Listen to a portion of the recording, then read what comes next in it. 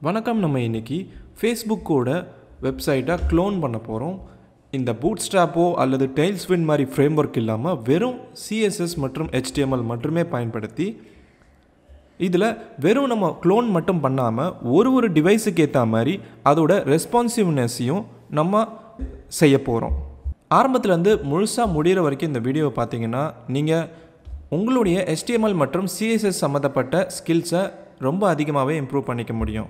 சரி வாங்க வீடியோக்கு போகலாமா இந்த ஃபேஸ்புக் லோனிங்கை நம்ம பண்ணுறதுக்கு விஎஸ் கோட் எடிட்டரை பயன்படுத்திக்கிறோம். ஒரு புது ஃபோல்டர் ஒன்று க்ரியேட் பண்ணிக்கோங்க. நான் ஃபேஸ்புக்குன்னு சொல்லிட்டு ஒரு ஃபோல்டர் உருவாக்கியிருக்கேன். அந்த ஃபோல்டரை நான் இந்த விஎஸ் கோடில் ஓப்பன் பண்ணிக்கிட்டேன். இந்த வேலையை ஆரம்பிக்கிறதுக்கு முன்னாடி இந்த விஎஸ் கோட் எடிட்டரில் உங்களுக்கு ஒரு சில எக்ஸ்டென்ஷன்ஸ் தேவைப்படும். அது எல்லாமே நம்மளுடைய வேலையை இன்னும் சுலபப்படுத்துறதுக்காக தான். நீங்கள் எக்ஸ்டென்ஷன்ஸில் போயிட்டு லைவ் சர்வர்னு சர்ச் பண்ணுங்கள் உங்களுக்கு இந்த எக்ஸ்டென்ஷன் கிடைக்கும். இதை இன்ஸ்டால் பண்ணிக்கோங்க. நாம் இப்போது சில ஸ்டாட்டிக் பேஜை வச்சு தான் அதாவது HTML எல்லாம் வச்சு தான் நம்ம இந்த ப்ராஜெக்டை பண்ணுறோன்றதால அது கிட்டத்தட்ட அடிக்கடி ரீலோட் பண்ணிக்கிட்டே இருக்க முடியாது. அதனால தான் இந்த எக்ஸ்டென்ஷனை நம்ம இன்ஸ்டால் பண்ணுறோம் இது வந்து ஒரு லோக்கல் டெவலப்மெண்ட் சர்வராக நம்மளுடைய ப்ராஜெக்டை ரன் பண்ணிக்கிட்டு இருக்கோம் வித் லைவ் ரீலோட் ஃபீச்சரோட இந்த எக்ஸ்டென்ஷனை நீங்கள் இன்ஸ்டால் பண்ணிக்கணும். இது இன்ஸ்டால் ஆகி முடித்த பிறகு நீங்கள் இன்னொரு ஒரு ப்ளக்கினையும் இன்ஸ்டால் பண்ணணும். அது ப்ரிட்டியர் அப்படின்ற இந்த plugin இந்த plugin. இது நம்ம சிஎஸ்எஸ் HTML எல்லாம் பயன்படுத்துகிறோம் இந்த ப்ராஜெக்டில் அப்படிங்கிறதால கோடெல்லாம் நம்ம அடிக்கடி ஃபார்மேட் பண்ணுற மாதிரி இருக்கும். கரெக்டாக கோடை வந்து அலைன் பண்ணுறது வரிசையாக அதுக்கெல்லாம் இந்த எக்ஸ்டென்ஷனை பயன்படுத்துகிறோன்றதால இது நிச்சயமாக உங்களுக்கு தேவைப்படும். இதையும் இன்ஸ்டால் பண்ணிக்கோங்க.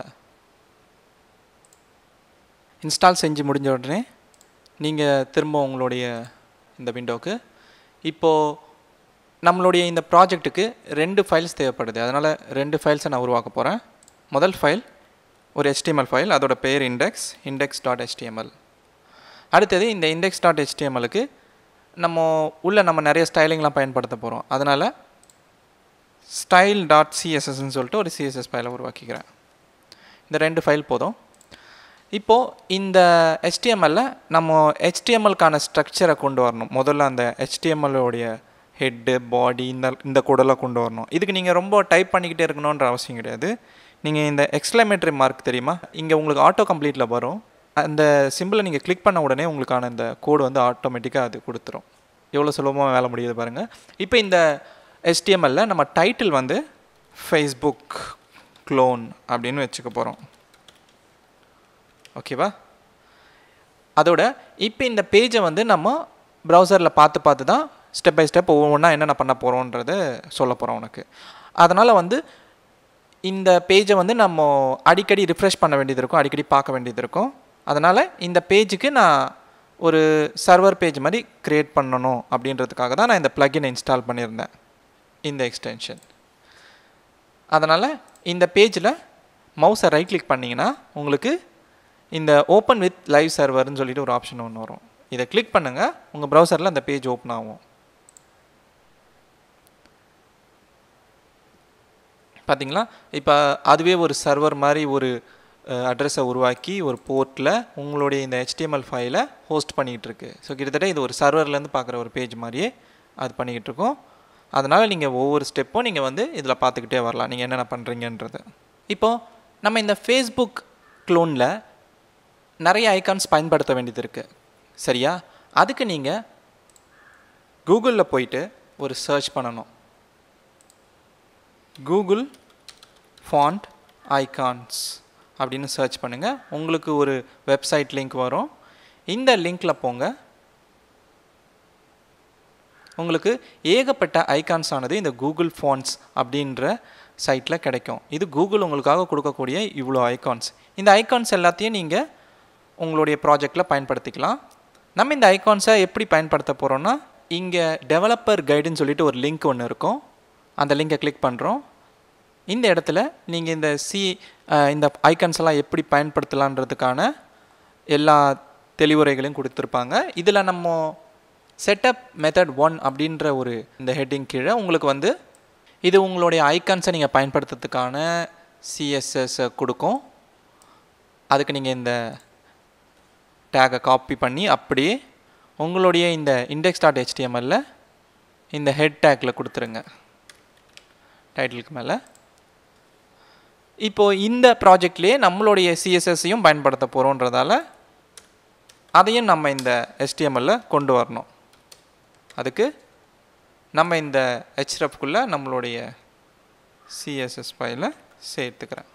நம்ம இப்போ பகுதிகளை பிரிக்க போகிறோம் முதல்ல ஹெட்டர்ன்ற கிளாஸை கொண்ட ஒரு டிவ் அதுக்குள்ள header double under score left அப்படின்ற ஒரு ஹெட்டர் கொண்ட டிவ் இருக்குது header underscore double underscore middle அப்படின்னு சொல்லிட்டு இன்னொரு டிவும் இருக்குது அதுக்கு அடுத்து header double under score right அப்படின்னு சொல்லிட்டு இன்னொரு ஒரு டிவ் இருக்குது மூணு டிவ் இந்த ஹெட்டர்ன்ற கிளாஸை கொண்ட டிவுக்குள்ளே இருக்குது மூணு வெவ்வேறு கிளாஸை கொண்ட டிவ்ஸ் இப்போ இந்த முதல் டிவுக்குள்ளே நம்ம ஒரு இமேஜ் எலிமெண்ட்டை வைக்க போகிறோம் இந்த இமேஜ் எலிமெண்ட் நம்ம ஃபேஸ்புக்கோட லோகோவை கொண்டு இருக்க போகுது.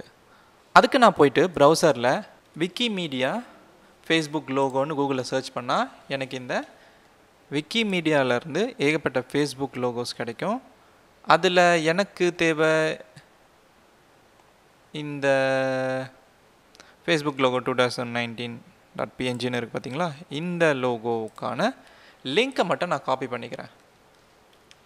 இதை காப்பி பண்ணிக்கிட்டு இங்கே நம்ம இந்த இமேஜ் எலிமெண்ட்டில் சோர்ஸ் ஆட்ரிபியூட்டில் கொடுத்துட்டா நம்மளுடைய நம்மளுடைய இந்த இண்டெக்ஸ் டாட் HTML தெரியும். இது இவ்வளோ பெருசாக தெரியுதேன்னு சொல்லிட்டு நீங்கள் ஒன்றும் யோசிக்க வேண்டாம். நம்ம இப்போ இதை கொஞ்சம் கொஞ்சமாக சிஎஸ்எஸில் சின்னதாக கொண்டு வந்துடுவோம் இப்போது இந்த இமேஜ் எலிமெண்ட்டுக்கு அடுத்து நம்ம சர்ச் பாக்ஸ் ஒன்று வச்சுருக்கணும்.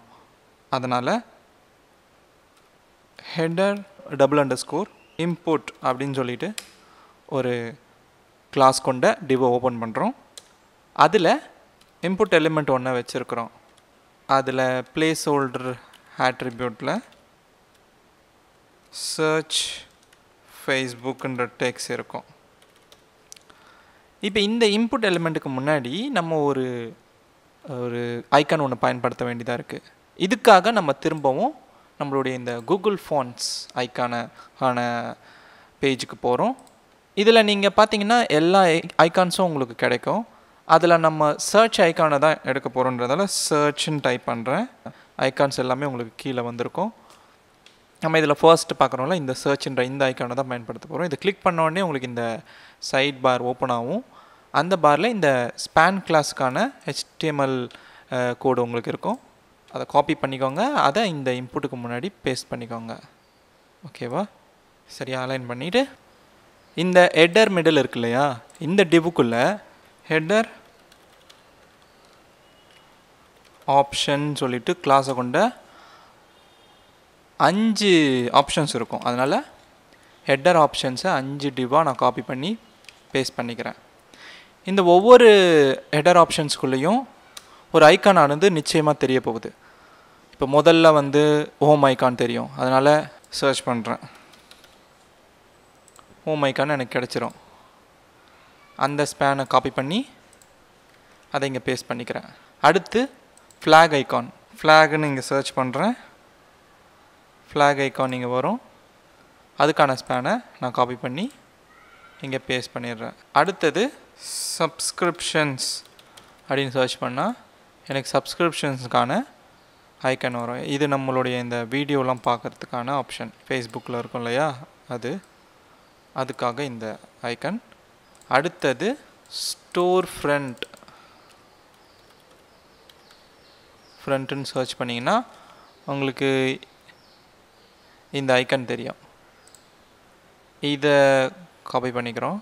இது வந்து அடுத்த ஆப்ஷன் அஞ்சாவது ஆப்ஷன் வந்து சூப்பர் வாய்ஸ்ட் யூசர் சர்க்கிள்னு பார்த்தீங்கன்னா இந்த ஐக்கன் உங்களுக்கு கிடைக்கும். இதை வந்து காப்பி பண்ணி அஞ்சாவது ஆப்ஷனுக்கு கொடுத்துட்றோம் ஸ்பேனா இப்போ அஞ்சு ஆப்ஷனுக்கு அஞ்சு ஐக்கனையும் நம்ம கொடுத்தாச்சு. இதை நம்ம கரெக்டாக அலைன் பண்ணிக்கலாம். இப்போ இந்த இண்டெக்ஸ் டாட் ஹெச்டிஎம்எல்லை சேவ் பண்ணிவிட்டு ப்ரௌசரை போய் பார்த்தோம்னா உங்களுக்கு அஞ்சு ஐகான்ஸ் தெரியும் கீழே. கரெக்டா இந்த மாதிரி தெரியுதா? சரி.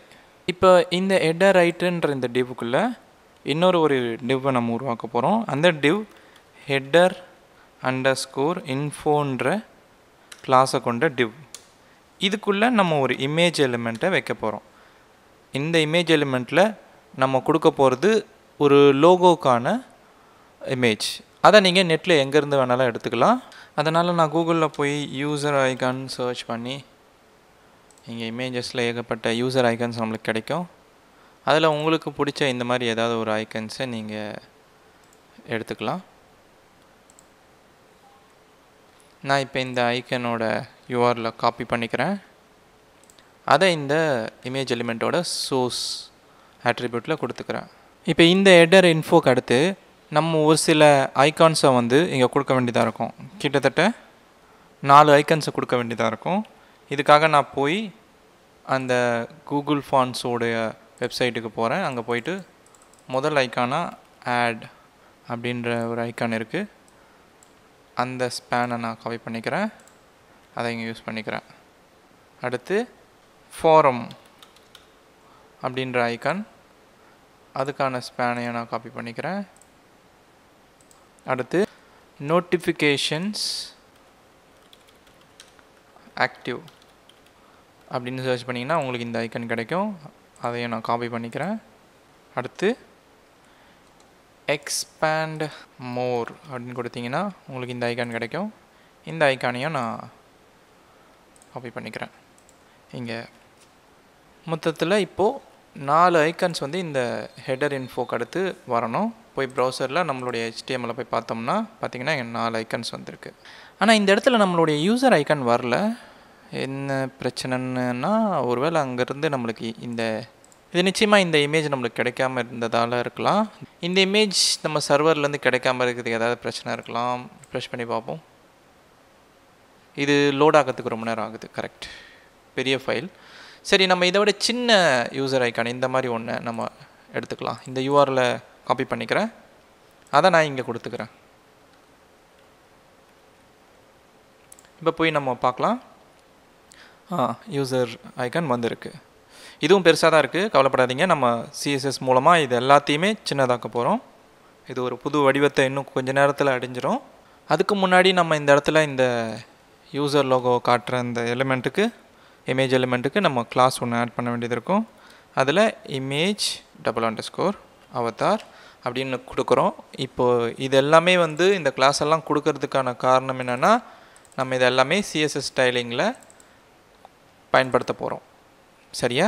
இந்த இமேஜில் அதாவது இந்த ஹெடர் இன்ஃபோ டிவ்க்குள்ளே நம்ம இமேஜ் எலிமெண்ட்டுக்கு அடுத்து பெயரை காட்டுவோம். அதுக்கு ஹெச் ஃபோர் அதாவது ஹெட்டிங் ஃபோரில் நம்மளுடைய பெயர் என்னவோ அதை கொடுத்துக்கலாம். இது ஹெட்டிங் காமிக்கும். ஓகே. சரி இப்போது சிஎஸ்எஸ் ஸ்டைலிங்கை பயன்படுத்துறதுக்கான நேரம். நம்மளுடைய இந்த ஸ்டைல் டாட் சிஎஸ்எஸ் ஃபைலை ஓப்பன் பண்ணிக்கோங்க. இப்போ இதில் முதல்ல நம்ம எல்லா எலிமெண்ட்டுக்கும் மார்ஜின் ஆனது ஜீரோவில் வைக்கணும். அதனால் இங்கே ஆஸ்ட்ரிக் சிம்பிள் அதில் மார்ஜின் அப்படின்ற ப்ராப்பர்ட்டிக்கு ஜீரோன்னு கொடுத்து விட்றோம் வேல்யூ இப்போ எல்லா எலிமெண்ட்ஸுக்கும் மார்ஜின் ஆனது ஜீரோ ஆக்கிடும். முதல்ல நம்ம பண்ண போகிறது இந்த ஃபேஸ்புக் லோகோ வந்து இவ்வளோ பெருசு இருக்குது இதை நம்ம சின்னதாக்கணும் இல்லை அதுக்கு நம்ம என்ன பண்ணுறோம் நம்மளுடைய இண்டெக்ஸ் டாட் ஹெச்டிஎம்எல்ல அந்த லோகோவோட கிளாஸ் இது. யூஆர்எல் இந்த இமேஜ் எலிமெண்ட்லேருந்து தான் வருது. இதில் வந்து ஹெட்டர் அண்டர் ஸ்கோர் லெஃப்ட்னு இருக்கு இல்லையா? டபுள் அண்டர் ஸ்கோர் லெஃப்ட் இந்த கிளாஸில் இருக்கிற இமேஜ் எலிமெண்ட்டுக்கு நான் சிஎஸ்எஸ் எழுத போகிறேன் header double under score left இமேஜ்க்கு நான் எழுத போகிற சிஎஸ்எஸ் என்னென்னா இந்த இமேஜ் எலிமெண்ட்டுக்கு ஹைட் ஆனது ஃபார்ட்டி பிக்சலில் இருக்கணும் அப்படின்னு கொடுக்குறேன். இப்போ போய் ப்ரௌசரில் பார்க்கலாமா? பார்த்தீங்கன்னா இமேஜ் அந்த ஃபேஸ்புக் லோகோ வந்து சின்னதாகிடுச்சு சரியா? இப்போ அடுத்து நம்மளுடைய யூசர் லோகோவை டார்கெட் பண்ண போகிறோம் அதுக்கு நம்ம இந்த இடத்துல பார்த்திங்கன்னா யூசர் அதாவது இந்த இமேஜ் அண்டர் ஸ்கோர் அவதார்னு சொல்லிட்டு ஒரு கிளாஸ் நேம் பயன்படுத்துகிறோம் அதனால் image under score avatar okay இந்த இமேஜுக்கு நான் வந்து என்ன width நான் ஃபார்ட்டி ஃபைவ் பிக்சல் கொடுத்துக்கிறேன்.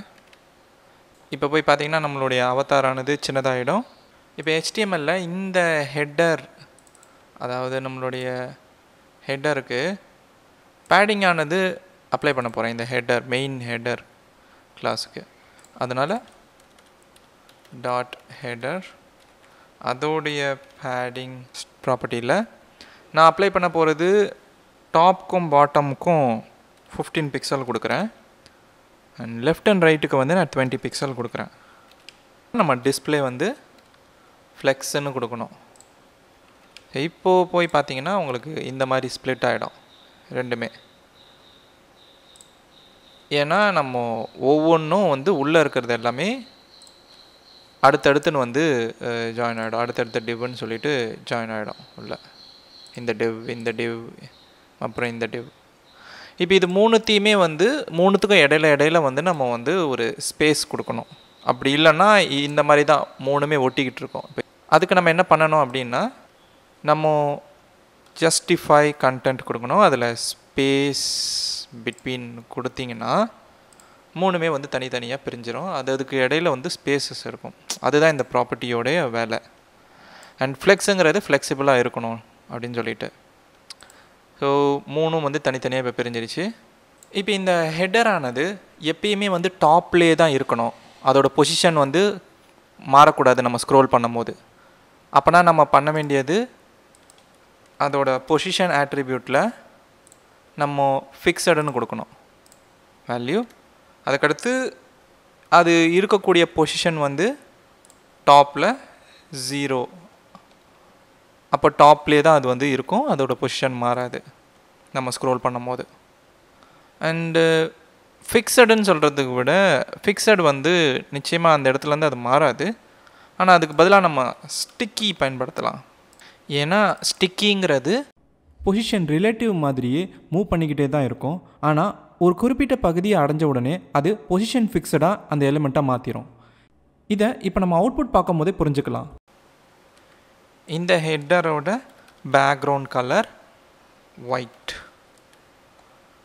அதோட அடுத்து ஜெட் இண்டெக்ஸ்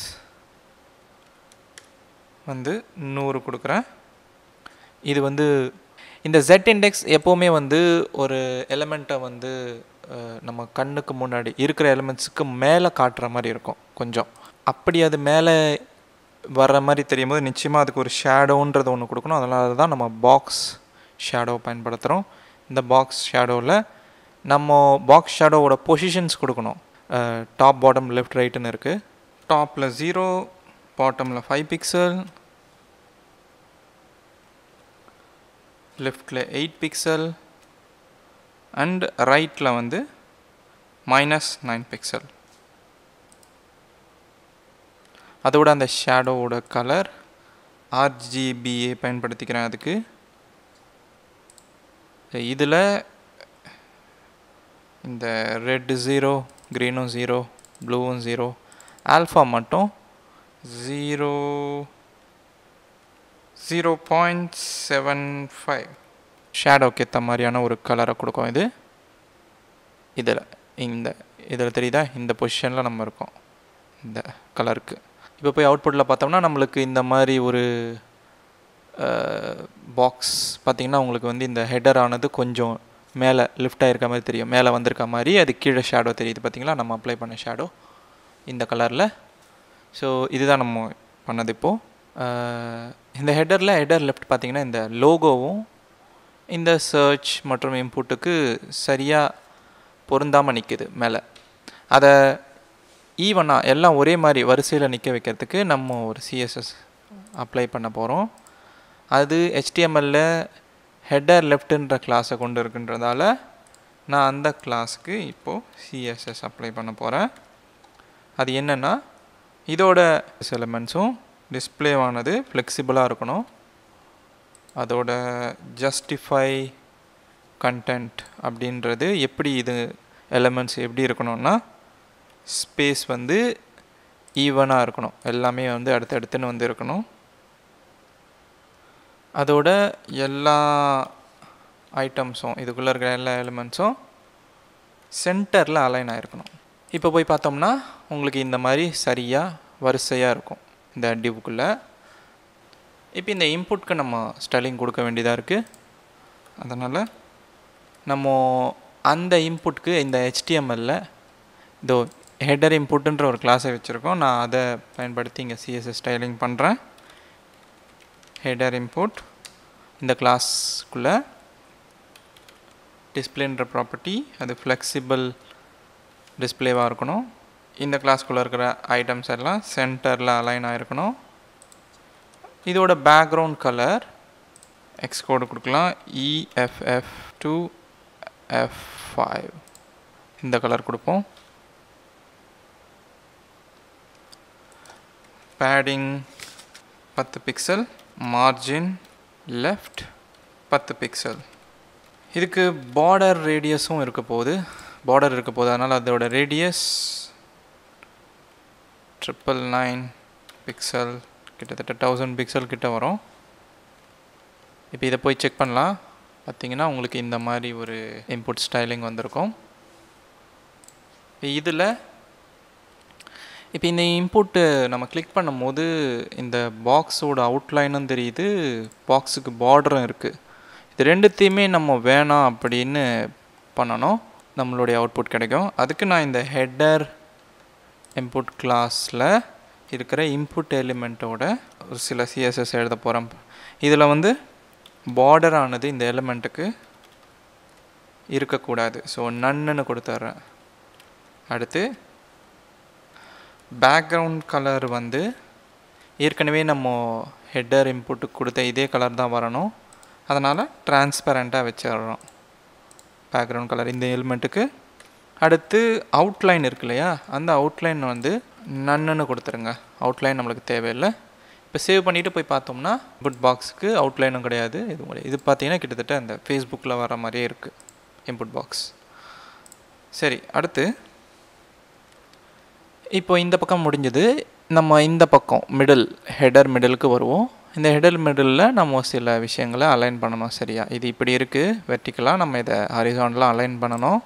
இந்த இந்த ஹெச்டிஎம்எல்ல ஹெடர் மிடில் கிளாஸ் இருக்குது அதுக்கு சிஎஸ்எஸ் அப்ளை பண்ண போகிறோம் இதில் டிஸ்பிளே ஃப்ள டிஸ்பிளே ப்ராப்பர்ட்டி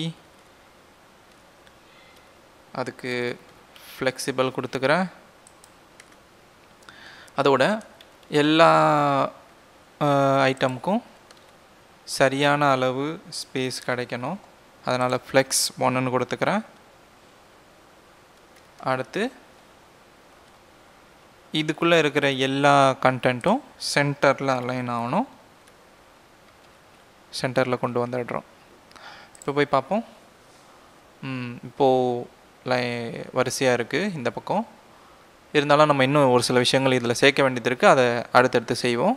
இந்த ஐக்கான்ஸ்லாம் ரொம்ப டார்க்காக இருக்குது நம்மளுக்கு கிட்டத்தட்ட ஒரு க்ரே கலரில் இருந்தால் தான் சரியாக இருக்கும். அதோட அதோட சைஸும் கொஞ்சம் மாற்ற வேண்டியது இருக்குது நம்ம அது எல்லாத்தையும் பண்ணுறதுக்கு இந்த ஐக்கன்ஸ் எங்கே இருக்குன்னா ஒவ்வொன்றும் வந்து இந்த header ஆப்ஷன்ஸில்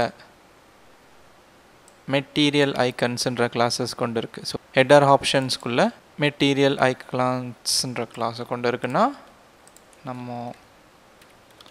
header under score option அதில் மெட்டீரியல் ஐக்கன்ஸ் மெட்டீரியல் ஐக்கன்ஸ் வந்து அண்டர் ஸ்கோர் கிடையாது.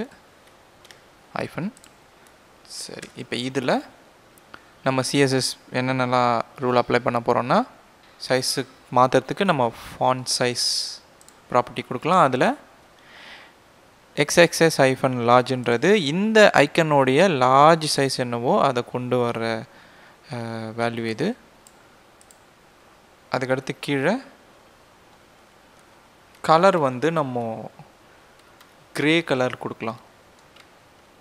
அப்போ தான் கரெக்டாக இருக்கும்.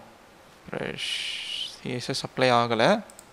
அதுக்கு காரணம் என்னென்னா நம்ம ஹெட்டர் ஆப்ஷன் வந்து டபுள் அண்டர் ஸ்கோர் பயன்படுத்துது. நம்ம சிங்கிள் அண்டர் ஸ்கோர் தான் வச்சுருக்கோம். அதுதான் இப்போ பார்ப்போம். இப்போ கரெக்டாக வேலை செய்யுது. எப்பயுமே கிளாஸ் நேமை என்ன மாதிரி தப்பாக கொடுத்துடாதீங்க. அப்புறம் தப்பாக அப்ளை ஆகிடும் அதனால் எப்பயுமே கிளாஸ் நேமெல்லாம் கரெக்டாக இருக்கான்னு பார்த்துக்கோங்க. இப்போ இந்த ஹெட்டர் ஆப்ஷனில் நான் எப்போல்லாம் ஏரோவை கொண்டு போகிறனோ அப்போல்லாம் இந்த ஐக்கன்ஸ் ஆனது ப்ளூ கலரில் மாறணும். இதுதான் நம்ம ஃபேஸ்புக்லேயும் பார்க்குறோம். அந்த மாதிரி நம்ம பண்ணணுன்னா எல்லா எடர் ஆப்ஷன்ஸ்லேயும் நான் மவுஸ் ஆரோ கொண்டு போகும்போது ஓவர் பண்ணுறேன் அதாவது மவுஸ் ஓவர் அப்போது நம்மளுடைய மெட்டீரியல் ஐகான்ஸ் ஆனது அந்த கிளாஸை கொண்டு இருக்கிற ஐகான்ஸ் ஆனது கலர் வந்து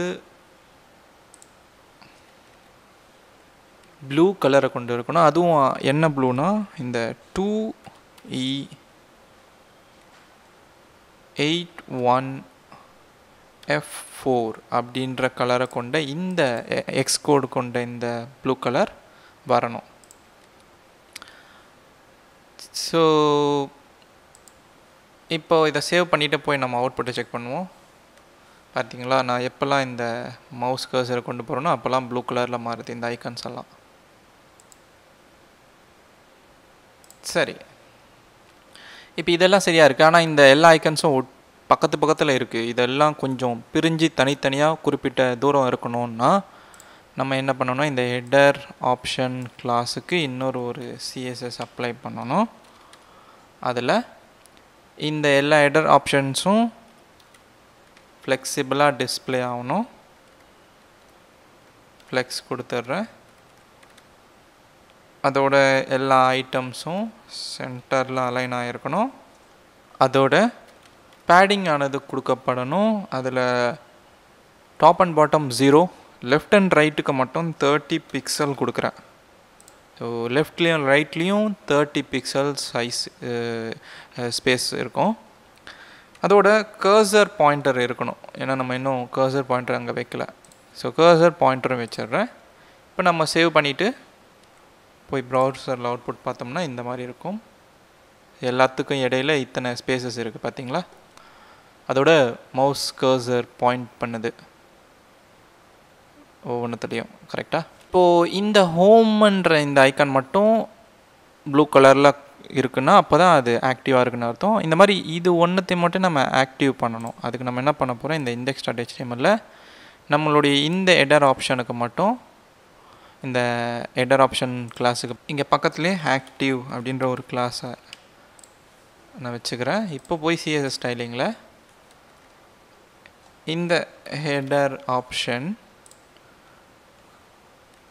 கூடவே ஆக்டிவ் ஆக் கிளாஸை கொண்டு இருக்கிற அந்த ஹெடர் ஆப்ஷன் கூடவே இந்த மெட்டீரியல் ஐகான்ஸ் இருக்கு இல்லையா? அந்த கிளாஸ்க்கு கலர் வந்து இந்த கலரில் இருக்கணும். ஆக அந்த இந்த ஆப்ஷனும் இந்த ஆக்டிவ் கிளாஸும் இருக்கிற இந்த மெட்டீரியல் ஐக்கான்ஸுக்கு கலரானது ப்ளூன்னு இருக்கும் இந்த கலரில் இப்போ சேவ் பண்ணிட்டு போய் பார்த்தோம்னா இந்த மாதிரி அந்த ஹோம்க்கு மட்டும் ஃபிக்ஸடாக இருக்கும். மீதி எல்லாத்துக்கும் நம்ம செலக்ட் பண்ணும்போது மட்டும் நம்ம மவுஸ் கர்சர் மாற்றும் போது மட்டும்தான் வரும். அது மேலே கொண்டு போகும்போது. இப்போ இதோட கூடவே கீழே இந்த இடத்துல நம்ம இந்த ஆக்டிவாக இருக்கிற இந்த ஐக்கானுக்கு கீழே பார்டர் ஒன்று வர வச்சாதான் அந்த பேஜுக்குள்ளே நம்ம இருக்கிறோம் அப்படின்ற மாதிரி ஃபேஸ்புக்கில் நம்ம பார்க்குறோம். அப்போது அந்த பார்டரை வர வைக்கிறதுக்கு நம்ம இதே ஹெடர் ஆப்ஷன் ஆக்டிவும் இருக்கிற அந்த கிளாஸுக்கு கிளாஸஸ் கொண்ட அந்த டிவுக்கு பார்டர் வந்து கொடுக்குறோம். பார்டர் வந்து பாட்டம் பாட்டமில் வர இந்த பார்டர் அதோட சைஸ் வந்து ஃபோர் பிக்சல் இருக்கும் சாலிட் அதோட அதோட கலர் வந்து இந்த கலர் தான். எக்ஸ் கோடை மட்டும் கொடுக்கணும். இந்த கலர் கூட கொடுத்துட்டு சேவ் பண்ணுங்கள் இப்போ போய் பாருங்கள் பார்டர் வந்திருக்கும். இப்போ இந்த பேஜ் ஆக்டிவாக இருக்குதுன்னு அர்த்தம். இந்த பார்டர் மற்றும் இந்த ஐக்கன் ஆக்டிவாக இருந்துச்சுன்னா. எப்பெல்லாம் நம்ம இந்த ஐக்கன்ஸில் மவுஸ் கர்சரை கொண்டு போகிறோமோ அதாவது ஓவர் பண்ணுறோமோ அப்போல்லாம் இந்த ஐக்கன்ஸ் எல்லாமே அதுக்கு பின்னாடி இருக்கிற பேக்ரவுண்ட் வந்து கொஞ்சம் க்ரே கலரில் தெரியணும். அப்போ தான் அது ஹைலைட் ஆகுதுன்றது நம்மளுக்கு தெரியும். இந்த வெறும் ப்ளூவில் மாறுறது மட்டும் நம்மளுக்கு போதாது. ஏன்னா அப்படி இல்லை ஃபேஸ்புக்கில் கரெக்டாக அப்போ நம்ம அதை பண்ணுறதுக்கு இந்த ஹெட்டர் ஆப்ஷன் கொண்டு இருக்கிற டிவ் எப்போது இந்த சிஎஸ்எஸ் அப்ளை ஆகணும்னா நம்ம மவுஸை ஹோவர் பண்ணும்போது மட்டும்தான். ஸோ மவுஸ் கர்சரை கொண்டு போகும்போது மட்டும்தான் இது அப்ளை ஆக போகுது. அப்போது இந்த டிவுக்கு பேக்ரவுண்ட் கலர் எல்லாமே மாறப்போகுது என்ன கலருக்குன்னா E F F e, two F I இந்த கலருக்கு அப்போ பார்டர் ரேடியஸ் ஆனது டென் பிக்சலுக்கு ஆகிடும் இப்போது ரவுண்டு டிவ் ஆனது ர- கொஞ்சம் ரவுண்டாக தெரியும் அதோட முனையில். ஐட்டம்ஸ் ஆனது சென்டராக அலைன் ஆகணும். அப்போது பேடிங் கொடுக்குறோம். உள்ளே கொஞ்சம் ஸ்பேஸ் வரும். டாப் அண்ட் பாட்டமில் கிடையாது. லெஃப்ட் அண்ட் ரைட்டில் தேர்ட்டி பிக்சலில் ஸ்பேஸ் ஆட் ஆகும். அதுக்கு தான் வந்து இங்கே சென்டர் பண்ணுறோம் அதோட பார்டர் பாட்டம் ஆனது இருக்கக்கூடாது அப்போது இப்போது இதை வந்து சேவ் பண்ணிவிட்டு நீங்கள் போயிட்டு செக் பண்ணி பாருங்கள் ஓவர் பண்ணும் போதே இந்த மாதிரி வரும். ஆனால் இந்த டிப்போட பார்டர் ரேடியஸ் ரவுண்டான மாதிரி தெரியல. காரணம் என்னென்னா நம்ம பார்டர் ரேடியஸ் ஒன் பிக்சல் தான் கொடுத்துருக்கோம். டென் பிக்சல் கொடுத்துருக்கணும். சரி இப்போ சேவ் பண்ணி பார்க்கலாம். ரெஃப்ரெஷ் பண்ணுறோம் இப்போ பார்த்தி ஆ இப்போ சரியாக வந்திருக்கு. கொஞ்சம் பார்டர் வந்து வளைஞ்சிருக்கு பார்த்தீங்களா ரவுண்டாக ஸோ ரேடியஸ் ஆனது கொடுக்கப்பட்டிருக்கு பத்து பிக்சலுக்கு அடுத்து இப்போ அடுத்து நம்மளுடைய இந்த ஹெட்டர் இன்ஃபோ இருக்கு இல்லையா? இதுக்குள்ளே இருக்கிற ஐட்டம்ஸ் எல்லாம் சரியாக நம்ம கொண்டு வரணும். இந்த HTML போய் நம்ம ஹெடர் இன்ஃபோ பார்த்தோம்னா இந்த கிளாஸ்க்குள்ளே தான் இந்த இமேஜ் மற்றும் யூசருடைய பெயர் இருக்குது இந்த ரெண்டு ஐட்டம்ஸையும் நம்ம கரெக்டாக கொண்டு வரணும்னா அந்த கிளாஸை அதாவது ஹெடர் இன்ஃபோன்ற இந்த கிளாஸ்க்கு சிஎஸ்எஸ் அப்ளை பண்ணணும் அதோட டிஸ்பிளேவானது ஃப்ளெக்சிபிளாக இருக்கணும். அலைன் ஐட்டம்ஸ் வந்து சென்டராக இருக்கணும். சேவ் பண்ணிடுறோம். இப்போ பார்ப்போம். இப்போது அடுத்தடுத்துன்னு வந்திருக்கு. ஆனால் இந்த பெயருக்கும் இந்த அவதாருக்கும் நடுவில் ஒரு ஸ்பேஸ் இருக்கணும். அதனால் இந்த நேமுக்கு முன்னாடி மார்ஜின் லெஃப்ட் கொடுக்கலாம். இந்த ஹெடர் இன்ஃபோவில் ஹெச் ஃபோர் எலிமெண்ட்டுக்கு மார்ஜின் லெஃப்ட் கொடுக்குறோம். மார்ஜின் லெஃப்ட் ஆனது டென் பிக்சலை கொண்டு இருக்கணும். இப்போ சேவ் பண்ணிவிட்டு பார்ப்போம். கொஞ்சம் ஸ்பேஸ் வந்திருக்கு. ரெண்டுத்துக்கு நடுவில். இந்த ஐட்டம்ஸ் எல்லாமே வந்து சரியாக அலைன் ஆகணும். இது ஹெடர் இன்ஃபோ மற்றும் இது வந்து ஹெடர் ரைட்டுக்குள்ளே இருக்கிற ஐட்டம்ஸ் இது எல்லாமே வந்து சரியாக அடுத்தடுத்துன்னு வரணும் அப்படின்னா நம்ம சிஎஸ்எஸ் ஆனது அப்ளை பண்ணணும். இதில் ஹெடர் ரைட்டுன்ற இந்த கிளாஸ்க்கு டிஸ்ப்ளே ஆட்ரிபியூட் எல்லா ஐட்டம்ஸும் ஃப்ளெக்சிபிளாக டிஸ்ப்ளே ஆகணும். எல்லா ஐட்டம்ஸும் சென்டரில் அலைனாக இருக்கணும் இப்போ போய் பார்ப்போம்.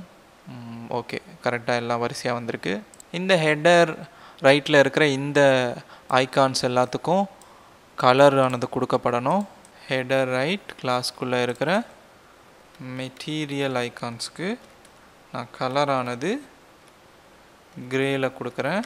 மார்ஜின் கொடுக்குறேன் இந்த ஐக்கன்ஸ்க்கு மார்ஜின் வந்து டாப் அண்ட் பாட்டம் ஜீரோ தான். ஆனால் லெஃப்ட் அண்ட் ரைட் வந்து டென் பிக்சல் ஸ்பேஸ் இருக்கும். லெஃப்ட்டுக்கும் ரைட்டுக்கும் சேவ் பண்ணிட்டு போய் பார்க்குறோம். கரெக்டாக வந்திருக்கு எல்லாமே. இந்த ஐக்கன்ஸுக்கு எல்லாத்துக்கும் கர்சர் பாயிண்டர் வைக்கணும். அப்போ தான் நம்ம கர்சர் கொண்டு போகும்போது இந்த மாதிரி வரும். கர்சர் பாயிண்டர் வருது. இப்போ இது வரைக்கும் நம்ம இந்த ஃபேஸ்புக்கோட ஹெட்டரை வரைக்கும் முடிச்சிருக்கோம். இதுக்கு அடுத்து இந்த மெயின் பாடிக்குள்ளே என்னென்னலாம் வரப்போதோ அதை பற்றி பார்க்க போகிறோம் அதுக்கும் முன்னாடி ஒரு கமெண்ட் பண்ணிடுவோம். ஹெட்டர் வந்து இங்கே தான் ஆரம்பிக்குதுங்கிற தகவல் உங்களுக்கு தெரியணுன்றதுக்காக. கமெண்ட் ஒன்று போடுறேன். ஹெட்டர் ஸ்டார்ட்ஸ் முடியும் போதும் அதே கமெண்ட்டை காப்பி பண்ணி கீழே கொடுத்துட்றேன். இங்கே ஹெட்டர் ஸ்டார்ட்ஸ்னு கொடுக்கறதுக்கு பதில் ஹெண்டுன்னே கொடுத்துடலாம். ஏன்னா இங்கே ஹெட்டர் முடியுது தானே? சரி. இப்போ நம்ம இந்த ஹெட்டர் எங்கே ஆரம்பிக்குது முடியுதுங்கிறத இந்த ஹெச்டிஎம்எல்ல சுலபமாக கண்டுபிடிச்சிட முடியும். இப்போ இது இந்த ஹெட்டர் டிவ்க்கு அடுத்து நம்ம மெயின் பாடி அப்படின்ட்டு ஒரு டிவ்வை ஆரம்பிக்க போகிறோம் அதனால் அந்த டிவுக்கும் முன்னாடி நம்ம ஒரு கமெண்ட்டை போட்டுக்கலாம். மெயின் பாடி ஸ்டார்ட்ஸ் அதே மாதிரி முடியும் போதும். மெயின் பாடி என்ஸ் இப்போ இதுக்குள்ளே மெயின்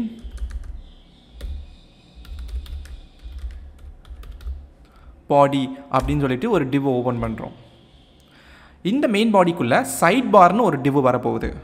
அதனால் அதுக்கும் நான் ஒரு கமெண்ட்டை போட்டுக்கிறேன். Side bar starts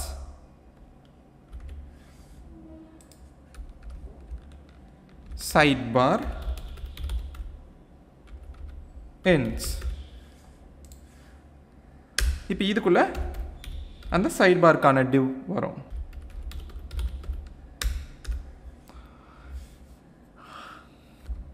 இப்போ இந்த சைட் பார்க்குள்ளே ஒரு ஒரு மெனியும் காட்ட போகிறோம் ஒரு ஒரு சைட் பாரோட ரூமும் வரப்போகுது. அப்போது அதுக்கு நான் வந்து என்ன பண்ணிக்கிறேன்? இங்கே சைட் பார் டபுள் அண்டர் ஸ்கோர் ரோன்னு சொல்லிவிட்டு ஒரு டிவ் ஓப்பன் பண்ணிக்கிறேன். அந்த டிவுக்குள்ளே வரப்போகிறது நம்மளுடைய இமேஜ் அவதார் அதனால் இங்கே ஏற்கனவே நம்ம இந்த header right header underscore இன்ஃபோக்குள்ளே நம்ம இந்த இமேஜ் அவதாரையும் அது கீழே இருக்கிற பேரையும் வச்சுருக்கோம். இதுதான் அங்கே வரப்போகுது. அதனால் இங்கே இருக்கிறத காப்பி பண்ணி அப்படி இங்கே கொடுத்துக்கிறேன். இப்போ போய் நம்ம அவுட்புட் பார்க்கலாம். பார்த்திங்கன்னா இந்த மாதிரி வந்திருக்கும். இப்போ இதே மாதிரியே இன்னும் இன்னும் ஒரு சைட் பார் ரோ வரப்போகுது. அதனால் சைட் பார் டபுள் அண்டர் ஸ்கோர் ரோன்னு இன்னொரு ஒரு டிவ் ஓப்பன் பண்ணிக்கிறேன். இதுக்குள்ளே வரப்போகிறது மெட்டீரியல் ஐக்கான்ஸோட ஸ்பேன் ஒன்று அதுக்குள்ளே இருக்க போகிறதோ லோக்கல் அண்டர் ஸ்கோர் ஹாஸ்பிட்டலுன்ற ஒரு ஐக்கன் இதுக்கு அடுத்து இன்னொரு ஒரு சைட் பார் ரோ வரப்போகுது. அதுக்குள்ளேயும் ஒரு மெட்டீரியல் ஐக்கன்ஸோட ஸ்பேன் வரப்போகுது. அதுக்குள்ளே இருக்க போகிற ஐக்கன் என்னென்னா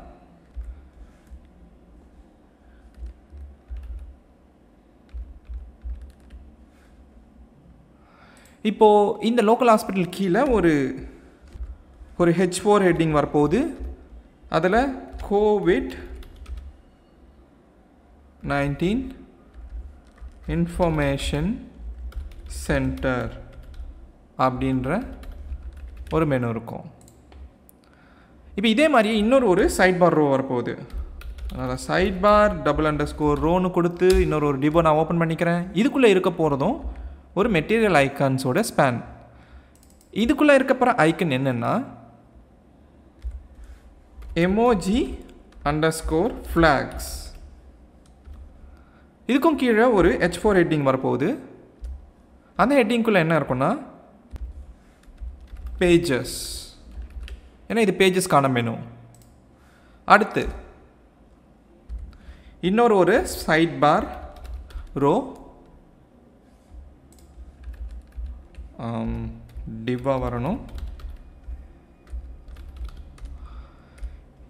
இந்த சைட் பார் ரோக்குள்ளே இன்னொரு ஒரு மெட்டீரியல் ஐக்கான்ஸ் ஸ்பேன் வருது. அதுக்குள்ளே இருக்க போகிறதோ பீப்புளுங்கிற ஒரு ஐக்கான் இந்த ஸ்பேனுக்கு கீழே ஒரு ஹெச் ஃபோர் வரும். அது பீப்பிள் அப்படின்ற ஹெட்டிங்கை கொண்டு இருக்கும் அதுக்கடுத்து இதே மாதிரி இன்னொரு ஒரு சைட் பார்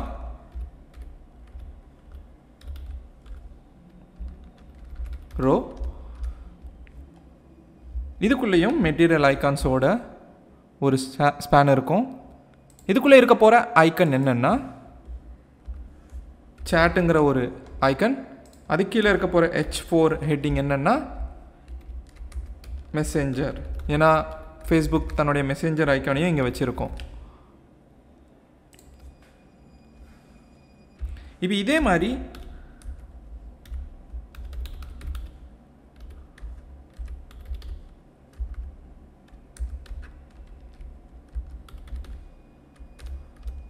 ஒரு சைட் பார் ரோ அதுக்குள்ளே ஒரு மெட்டீரியல் ஐக்கானோட ஸ்பேன் அதுக்குள்ளே இருக்க போகிற ஒரு ஐக்கன் என்னென்னா ஸ்டோர் ஃப்ரண்ட் இதுக்கு கீழே ஒரு ஹெச் ஃபோர் ஹெட்டிங் வரப்போகுது. அந்த ஹெட்டிங் என்னென்னா மார்க்கெட் பிளேஸ் இதுக்கும் கீழே ஒரு டிவ் வரப்போகுது. அதுவும் இதுக்கு அடுத்தும் ஒரு சைட் பார் ரோ ஒன்று வரப்போகுது. அதுக்குள்ளேயும் ஒரு மெட்டீரியல் ஐக்கன் ஸ்பேன் இந்த வாட்டி என்ன ஐக்கன்னா video underscore library H four heading கீழே என்ன வரும்னா வீடியோஸ் திரும்பவும் இதே மாதிரி ஒரு சைட் பார் ரோ அந்த சைட் பார் ரோக்குள்ளே மெட்டீரியல் ஐக்கன் ஸ்பேன் அதுக்குள்ளே இருக்கிற ஐக்கன் என்னென்னா எக்ஸ்பேண்ட் மோர்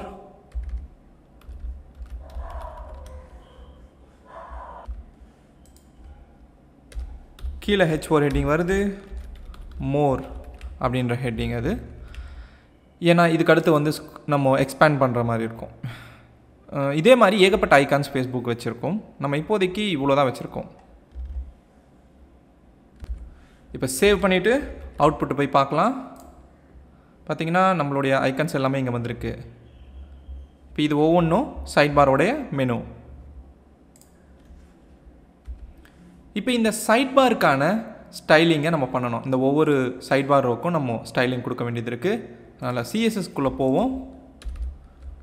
இங்கேருந்து நம்ம சைட் பார் ஸ்டைலிங் ஆனது ஆரம்பிக்குதுன்னு இங்கே ஒரு கமெண்ட் போட்டுக்கிறேன். நம்மளுடைய தகவலுக்கு தான். இப்போது நம்மளுடைய கிளாஸ் அந்த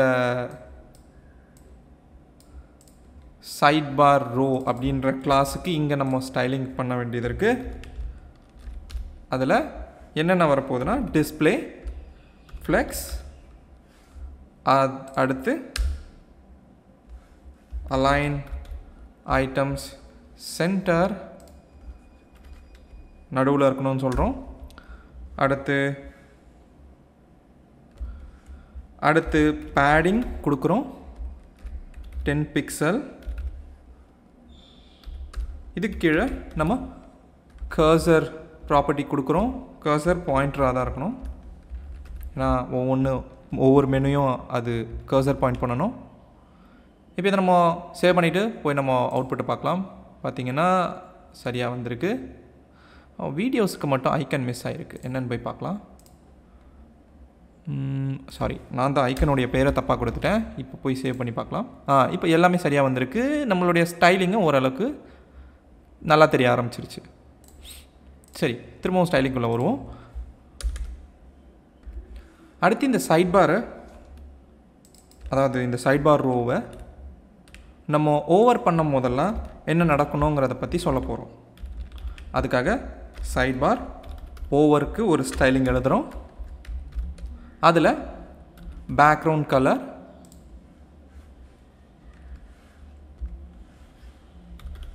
கிரேன்னு கொடுக்குறோம். கிரே கலர் பார்டர் ரேடியஸ் கொடுக்குறோம். அது டென் பிக்சல் கிரே கொடுக்கலாம் ஆனால் லைட் கிரே இன்னும் நல்லாயிருக்கும் அதனால் லைட் கிரேவே கொடுத்துட்றேன் அப்போ தான் உங்களுக்கு ஓவர் பண்ணும்போது லைட்டாக தெரியும். சரி இப்போது நம்ம ஓவர் பண்ணி பார்க்கலாம். ஸ்டைல் பண்ணுவோம். இப்போது பாருங்க. ஓவர் பண்ணும்போது அந்த மெனுஸ் மேலே ஒரு பேக்ரவுண்ட் கலர் பின்னாடி தெரியுதா? இந்த ஸ்டைலிங் நல்லாயிருக்கு சரி. இப்போது இந்த சைட் பார்க்குள்ளே இருக்கிற இந்த ஒவ்வொரு ரோலையும் இருக்கிற ஹெட்டிங்கை நம்ம கொஞ்சம் அட்ஜஸ்ட் பண்ணணும்.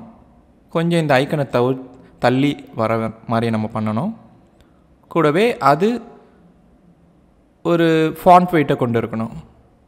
அதுக்கான ஸ்டைலிங்கை நம்ம பண்ண போகிறோம் அதனால் இந்த சைட் பார் இந்த சைட் பார் ரோவோட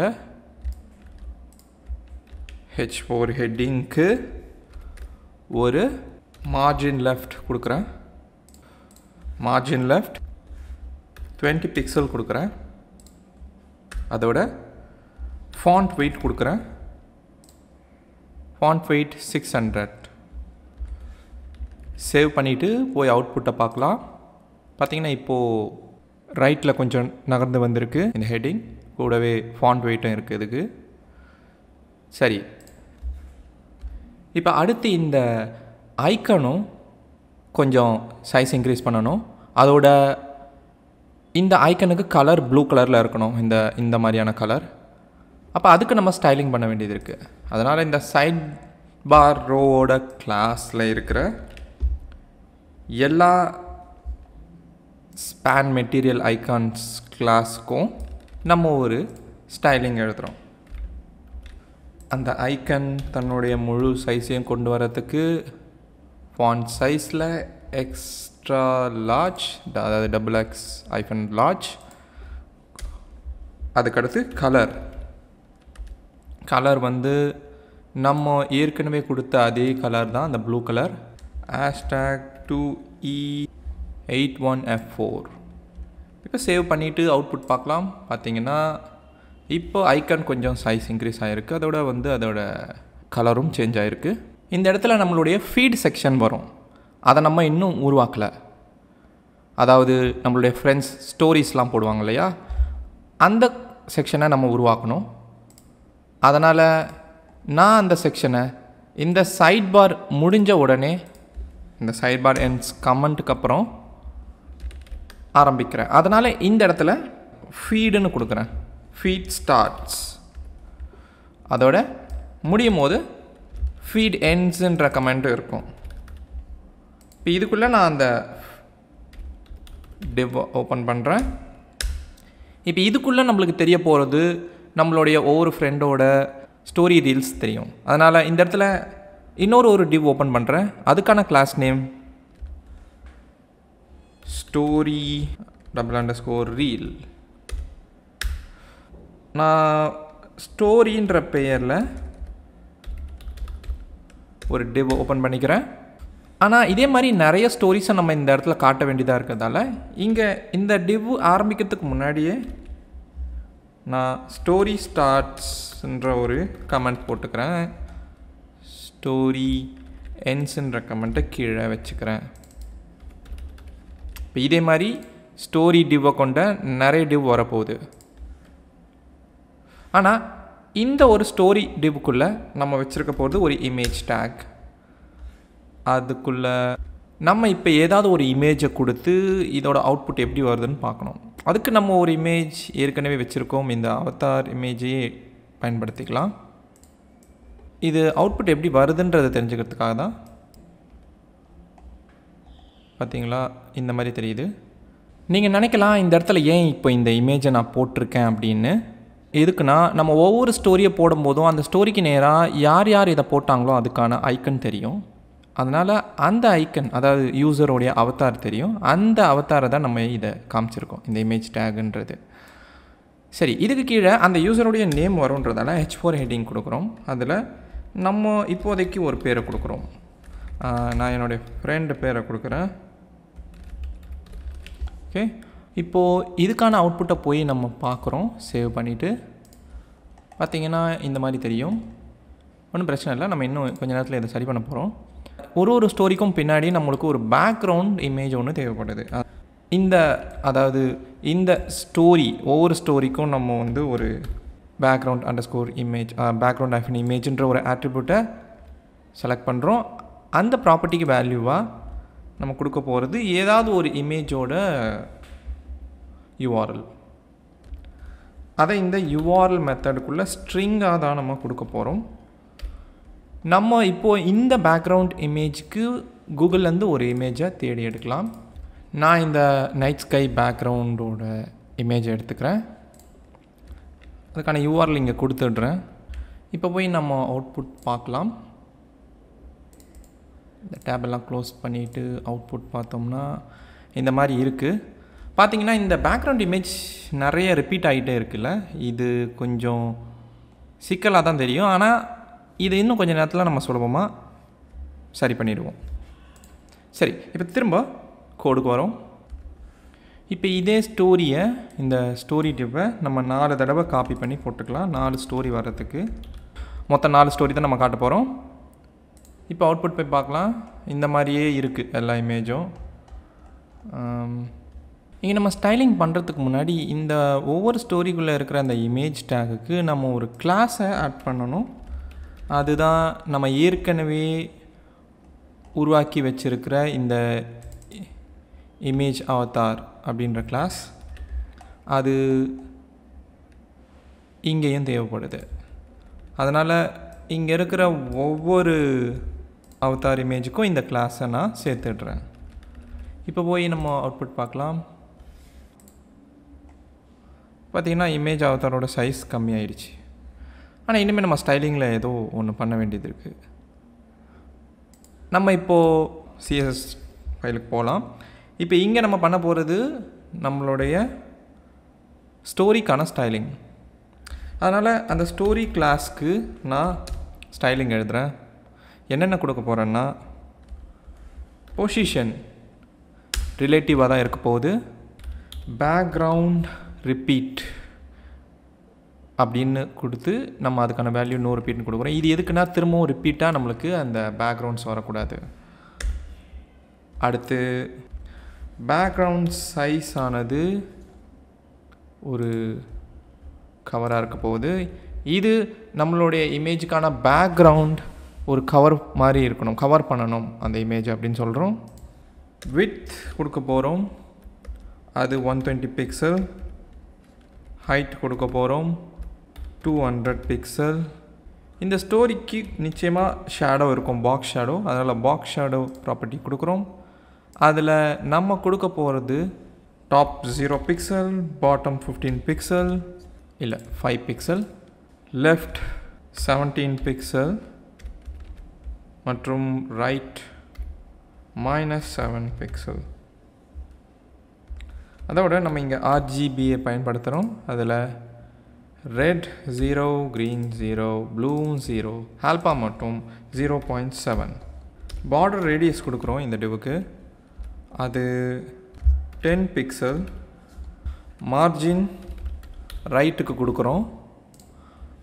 அது டென் பிக்சல் கர்சர் கொண்டு வரோம். கர்சர் பாயிண்டர் இந்த டிவில் சரி இப்போ நம்ம அவுட்புட் போய் பார்க்கலாம். இப்போ பாருங்கள் கிட்டத்தட்ட ஸ்டோரிக்கான ஒரு ஷேப்பை அது கொஞ்சம் கொஞ்சமாக அடைஞ்சிட்டு இருக்குது உங்களுக்கே தெரியுதா? எப்போல்லாம் நம்ம இந்த ஸ்டோரி மேலே கர்சரை கொண்டு போகிறோமோ அப்போல்லாம் இந்த ஸ்டோரி டிவ்வானது கொஞ்சம் முன்னாடி வரணும். முன்னாடி வரணும் செலக்ட் பண்ணுறது மட்டும். அப்போ அந்த மாதிரி ட்ரான்சிஷனுக்கு நம்ம பண் பண்ணணும்னா நம்ம இந்த ஸ்டோரி ஸ்டோரியோட அதாவது இந்த ஸ்டோரி டிவ் மேலே நம்ம ஓவர் பண்ணும்போது நம்ம அதுக்குன்னு ஒரு சிஎஸ்எஸ் எழுத போகிறோம் ட்ரான்ஸ்ஃபார்ம்ன்ற ஒரு ப்ராப்பர்ட்டி இருக்குது அதில் ஸ்கேலுன்ற ஒரு மெத்தட் இருக்குது அதில் நம்ம எந்த எந்த ரேஞ்சுக்கு நம்ம எந்த பர்சன்டேஜுக்கு வந்து இது பெருசாக ஆகணும் அப்படின்னு நினைக்கிறோன்னா ஒன் பாயிண்ட் ஜீரோ செவன் அடுத்தது இந்த ஸ்டோரி டிவ்வுக்கு ட்ரான்சிஷன் வந்து கொடுக்கணும். அதனால் ட்ரான்சிஷன் ப்ராப்பர்ட்டியை கொடுக்குறோம். ட்ரான்சிஷன் கொடுக்கும் போது தான் அதை நம்ம செலக்ட் பண்ணும் போது ஒரு ஜூம் பண்ணி திரும்பவும் ஜூம் அவுட் ஆகிற ஒரு எஃபெக்ட் ஆனது தெரியும். இந்த ட்ரான்சிஷனில் ட்ரான்ஸ்ஃபார்ம்னு ஒரு ப்ராப்பர்ட்டி ஒன்று இருக்குது அதுக்கு ஈஸ் இன்னுன்ற ஒரு ப்ராப்பர்ட்டி ஸ்டைலிங்கும் இருக்குது அது எந்த எத்தனை நிமிஷத்துக்கு ஆகணும் அப்படிங்கிறத வந்து நம்ம கொடுக்கணும். ஏன்னா ரொம்ப நேரம் கூட அந்த ட்ரான்சிஷன் நடக்கலாம் அப்படின்னு வாய்ப்புகள் இருக்கு இல்லையா? நம்ம கொடுக்க போகிறது மில்லி செகண்டுக்கு தான். அதனால் இந்த ட்ரான்ஸ்ஃபார்முக்கு அடுத்து ஹண்ட்ரட் மில்லி செகண்ட்ஸ் கொடுக்குறோம். அவுட்புட் பார்க்கலாம் சேவ் பண்ணிவிட்டு இப்போ பாருங்கள் நான் செலக்ட் பண்ணும் போதெல்லாம் அந்த ஒரு ஜூ ஜூம் இன் ஆகிற ஒரு ஃபீல் உங்களுக்கு தெரியுதா? அந்த டிவ் இப்படி தான் நீங்கள் ஃபேஸ்புக்கில் அந்த ஸ்டோரிஸ் மேலே நீங்கள் கர்சர் கொண்டு போகும்போதும் இருக்கும். இப்போ இந்த ஐக்கன் ரொம்ப கார்னரில் இருக்கிற மாதிரி இருக்குது இந்த ஸ்டோரி டிவ்வில் நம்ம இந்த அவதாருக்கு மட்டும் தனி ஸ்டைலிங் கொடுக்கணுன்னா நம்ம இதுக்குன்னு இந்த ஸ்டோரி டிப்பில் இருக்கிற இந்த image double under score avatar மாதிரியே கூடவே இன்னொரு ஒரு கிளாஸையும் சேர்ப்போம். Story double under score avatar இதை எல்லா கிளாஸ்லேயும் இமேஜ் அவதாருக்கு பக்கத்துலேயே கொடுக்குறோம். எல்லா ஸ்டோரிக்குள்ளேயும் இது இருக்கும்.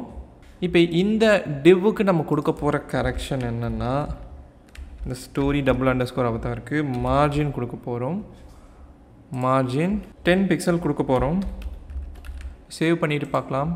இப்போ கொஞ்சம் ஓரளவுக்கு இது கார்னரில் இல்லாமல் கொஞ்சம் நகர்ந்து வந்திருக்கு. இப்போ இந்த ஸ்டோரிக்குள்ளே இருக்கிற இந்த ஹெச் ஃபோர் ஹெட்டிங்க்கு நம்ம ஒரு சில ஸ்டைலிங் கொடுக்க போகிறோம்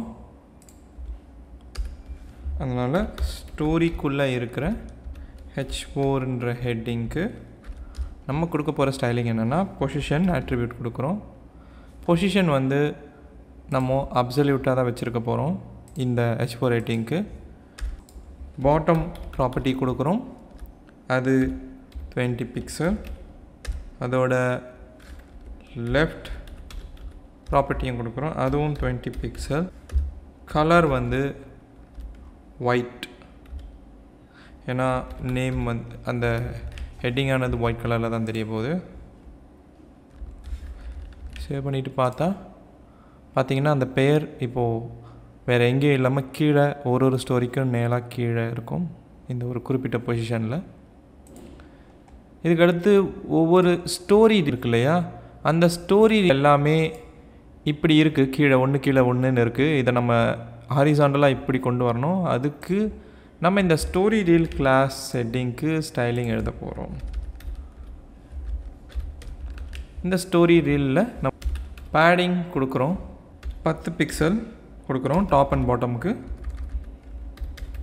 ஜீரோ பிக்சல் கொடுக்குறோம் லெஃப்ட் அண்ட் ரைட்டுக்கு அதோட இது டிஸ்ப்ளே ஆக போகிறது எப்படின்னா ஃப்ளெக்சிபிளாக ஸோ டிஸ்ப்ளே ஃப்ளெக்ஸ்ன்ற இந்த ப்ராப்பர்ட்டியையும் கொடுத்துட்டோம். இப்போ நம்ம அவுட்புட் பார்த்தோம்னா ஹரிசவுண்டெலாம் இப்படி வந்திருக்கு.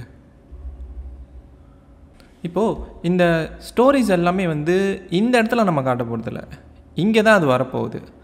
அதை பண்ணுறதுக்கு நம்ம ஏற்கனவே எதுக்குள்ளே இதை வச்சுருக்குறோம் அப்படின்னா மெயின் பாடின்ற டிவ்க்குள்ளே தான் இந்த சைட் பார் மற்றும் இந்த ஃபீடு இருக்குது இப்போ இதை வந்து ஒன்றுக்கு ஒன்று பக்கத்தில் வர வைக்கணும்னா இந்த மெயின் பாடிக்கு நம்ம ஸ்டைலிங் ஆனது அப்ளை பண்ண போகிறோம் அதில் மெயின் பாடிக்கு நம்ம கொடுக்க போகிறது என்னென்னா டிஸ்பிளேன்ற ப்ராப்பர்ட்டி அதுக்கு வேல்யூ ஃப்ளெக்ஸு இப்போ இப்படி கொடுக்கும்போது நிச்சயமாக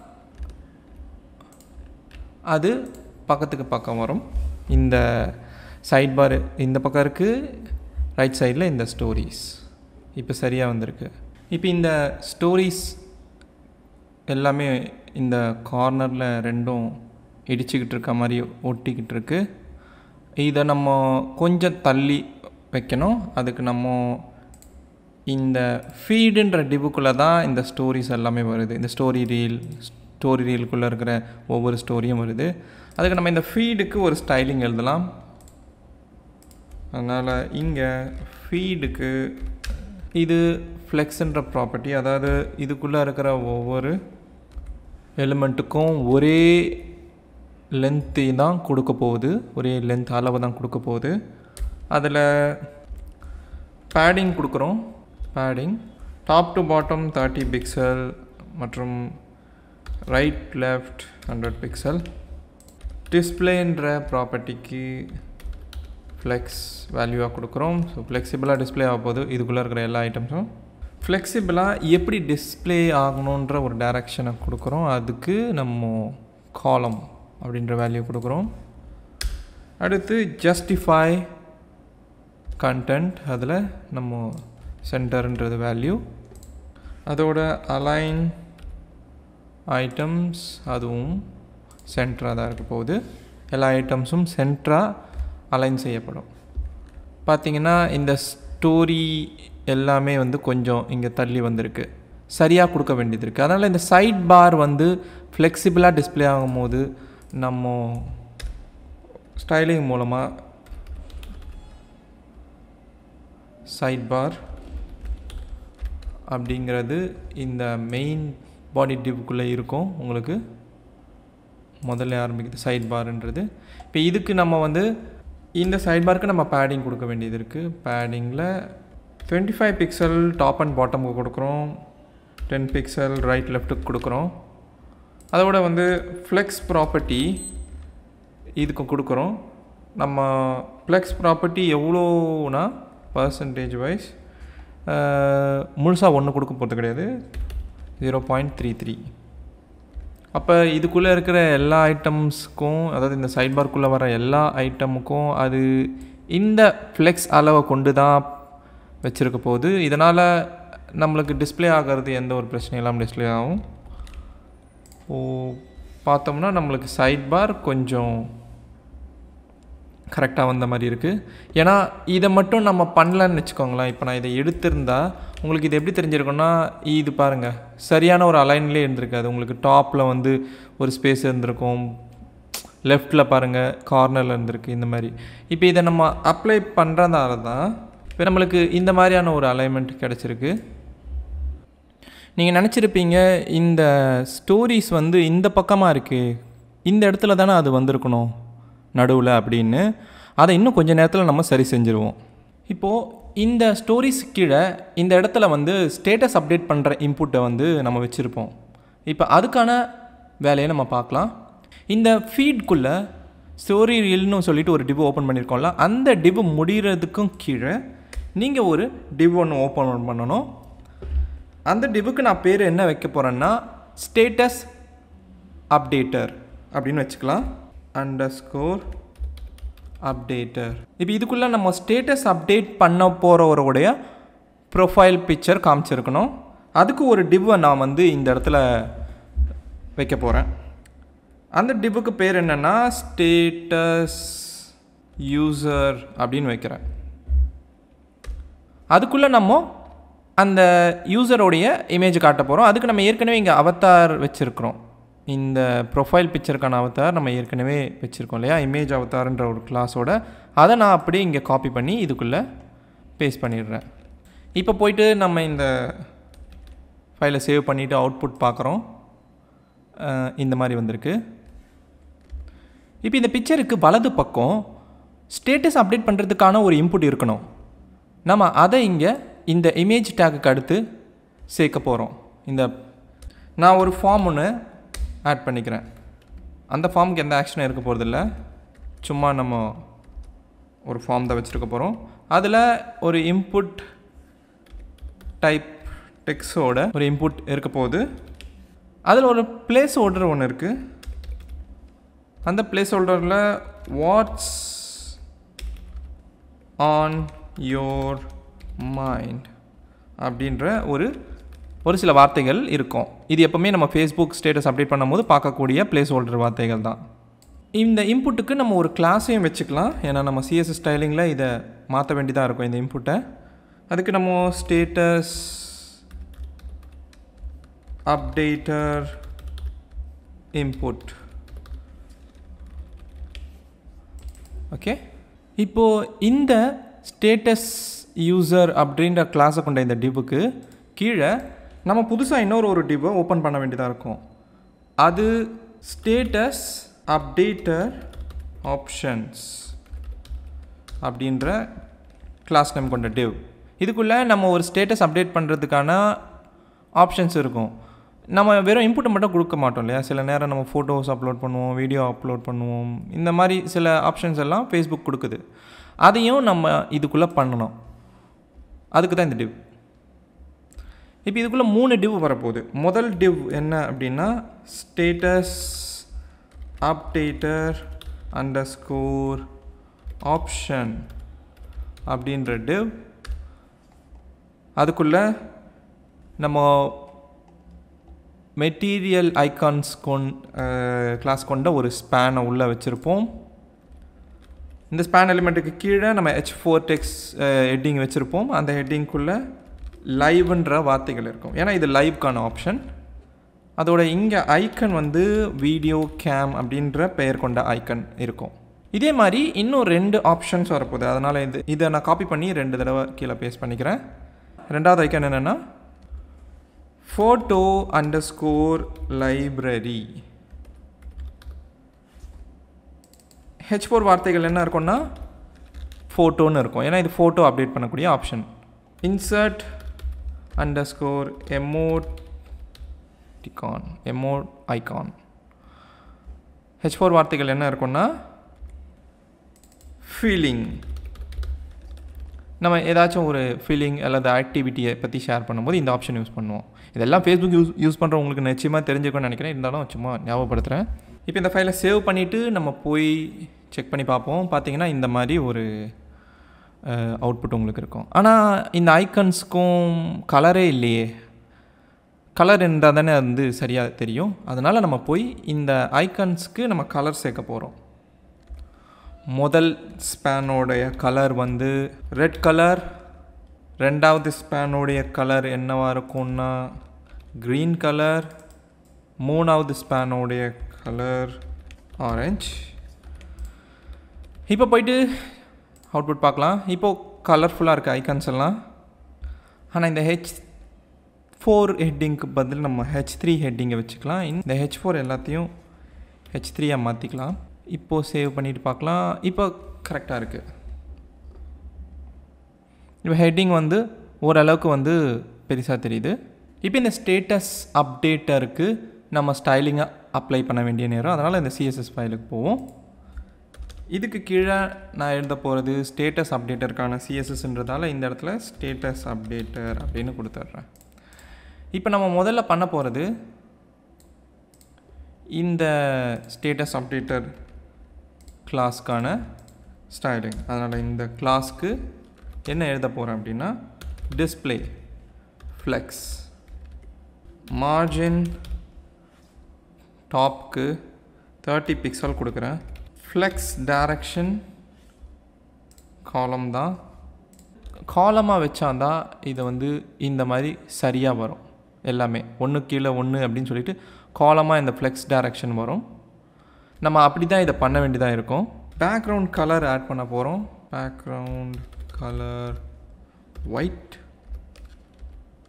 border radius கொடுக்க போகிறோம் ஃபிஃப்டீன் பிக்சல் அதுக்கு அடுத்து பாக்ஸ் ஷேடோ கொடுக்க போகிறோம் இந்த டிபுக்கு box shadow top zero pixel bottom five pixel left seven pixel right minus seven pixel கூடவே நம்ம ஆர்ஜிபியை பயன்படுத்துகிறோம் அதில் red zero green zero blue zero alpha மட்டும் ஜீரோ பாயிண்ட் செவன்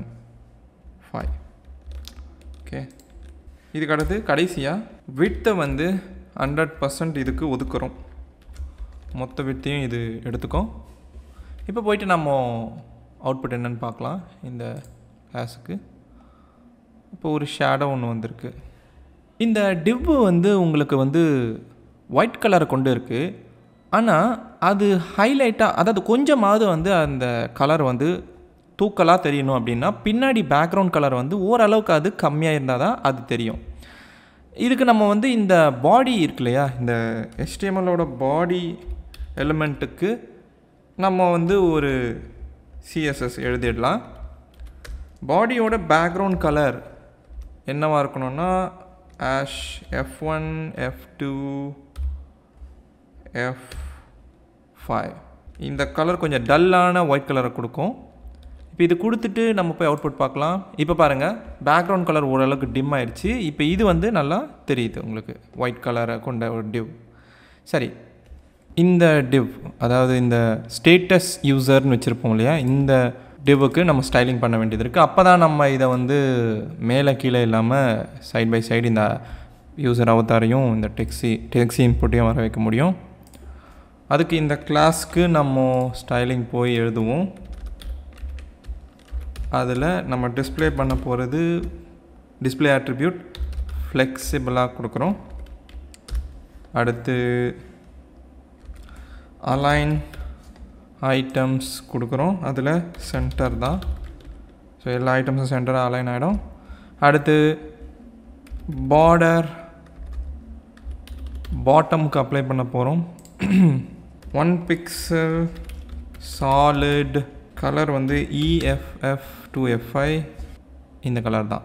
கடைசியாக பேடிங் பண்ணுறோம் பேடிங் ஃபிஃப்டீன் பிக்சல் அப்ளை பண்ணுறோம் இப்போ இதை சேவ் பண்ணிவிட்டு போய் நம்ம பார்த்தா இப்படி இருக்கும். பார்த்தீங்கன்னா இப்போ இந்த ஸ்டேட்டஸ் யூஸருக்கு பார்த்தீங்கன்னா ஒரு பாட் பார்டர் வந்திருக்கீங்க பாட்டமில் சைட் பை சைடு இந்த இம்போர்ட்டும் இந்த யூசர் அவதாரம் வந்திருக்கு. அடுத்தது இந்த இன்புட் இருக்கு இல்லையா? இந்த ஃபார்ம் இந்த ஃபார்முக்கு நம்ம ஸ்டைலிங் அப்ளை பண்ண போகிறோம் அதனால் இந்த ஸ்டேட்டஸ் யூசர் கிளாஸ் டிவ் கொண்டு இருக்கிற டிவ்க்கு உள்ள ஃபார்ம் ஒன்று இருக்கும். அதுக்கு ஸ்டைலிங் அப்ளை பண்ணுறோம் ஸ்டைலிங்கில் டிஸ்பிளே ஆட்ரிபியூட் அதுக்கு ஃப்ளெக்ஸ் கொடுக்குறோம். ஃப்ளெக்ஸ் வந்து ஃப்ளெக்ஸ் ஆட்ரிபியூட் கொடுக்குறோம். அது வந்து ஒன்னுன்ற வேல்யூ எடுத்துக்கும். அப்போது உங்களுக்கு இன்புட்டும் அந்த அவதாரும் சரி பாதியாக பிரிக்கப்படும். அடுத்து அதுக்குள்ளே ஒரு இன்புட் இருக்கு இல்லையா? அதுக்கான ஸ்டைலிங் ஒன்று எழுதுகிறோம் அதனால் இந்த ஸ்டேட்டஸ் அண்டர் ஸ்கோர் யூசர் ஃபார்மில் இன்புட் அப்படின்ற எலிமெண்ட்டுக்கு ஸ்டைலிங் என்ன அப்ளை பண்ணுறோன்னா ஃப்ளெக்ஸ் அட்ரிபியூட் வைக்கிறோம். அது ஒன் உள்ளே இருக்கிற ஸ்பேஸ் ஆனது சரி பங்காக பிரிக்கப்படும். ஒரு ஒரே ஸ்பேஸாக எடுத்துக்கும் அது. அவுட்லைன் விட்த்து இருக்கும். அதை வந்து ஜீரோவில் வச்சுக்கிறோம். ஏன்னா நம்ம அவுட்லைனை காட்டிக்க போகிறதில்ல அதோட பார்டரும் நம்ம ஷோ பண்ண போகிறதில்ல அதனால் பார்டருக்கு நன்னு கொடுத்துடலாம். ஏன்னா இந்த இன்புட்டுக்கு பார்டர்லாம் வராது. பேடிங் பண்ண போகிறோம் அதில் டாப் அண்ட் பாட்டமுக்கு பதினஞ்சு பிக்சல் ரைட் அண்ட் லெஃப்ட்டுக்கு டுவெண்ட்டி பிக்சல் கொடுக்குறேன். மார்ஜின் கொடுக்குறேன். டாப் அண்ட் பாட்டம் ஜீரோ தான். Right and left ten pixel கொடுக்குறேன். பார்டர் ரேடியஸ் கொடுக்க போகிறோம் அது நைன் நைன்ட்டி நைன் பிக்சல் நிறைய அதாவது பார்டர் ரேடியஸ்னாலே உங்களுக்கு தெரியும்னு நினைக்கிறேன். அந்த வளைவு இருக்கும் கார்னர்ஸில் இதுக்கு அடுத்து கடைசியாக பேக்ரவுண்ட் கலர் அது இந்த கலர் தான். நம்ம ஏற்கனவே வந்து இந்த ஸ்டேட்டஸ் யூஸருக்கு அப்ளை பண்ண அதே கலர் இப்போ இதை சேவ் பண்ணிவிட்டு அவுட்புட் போய் பார்க்கலாம். பார்த்தீங்கன்னா இப்போ இது கரெக்டாக இருக்குல்ல? இப்போ அடுத்தது நம்ம இந்த ஸ்டேட்டட் அப்டேட்டர் ஆப்ஷன்ஸ் நம்ம சிஎஸ்எஸ் ஸ்டைலிங் பண்ண போகிறோம் இதில் டிஸ்பிளே ஃப்ளெக்ஸ் கொடுக்குறோம். இந்த ப்ராப்பர்ட்டி ஜஸ்டிஃபை கண்டென்ட் கொடுக்குறோம். ஸ்பேஸ் ஈவன்லின்ற வேல்யூ கொடுக்குறோம். இது எல்லா ஆப்ஷனுக்கும் ஈக்குவலான ஸ்பேஸை கொடுக்கும். ஒவ்வொன்றுத்துக்கும் இடையில இருக்கிற ஸ்பேஸ் ஈக்குவலாக இருக்கும்.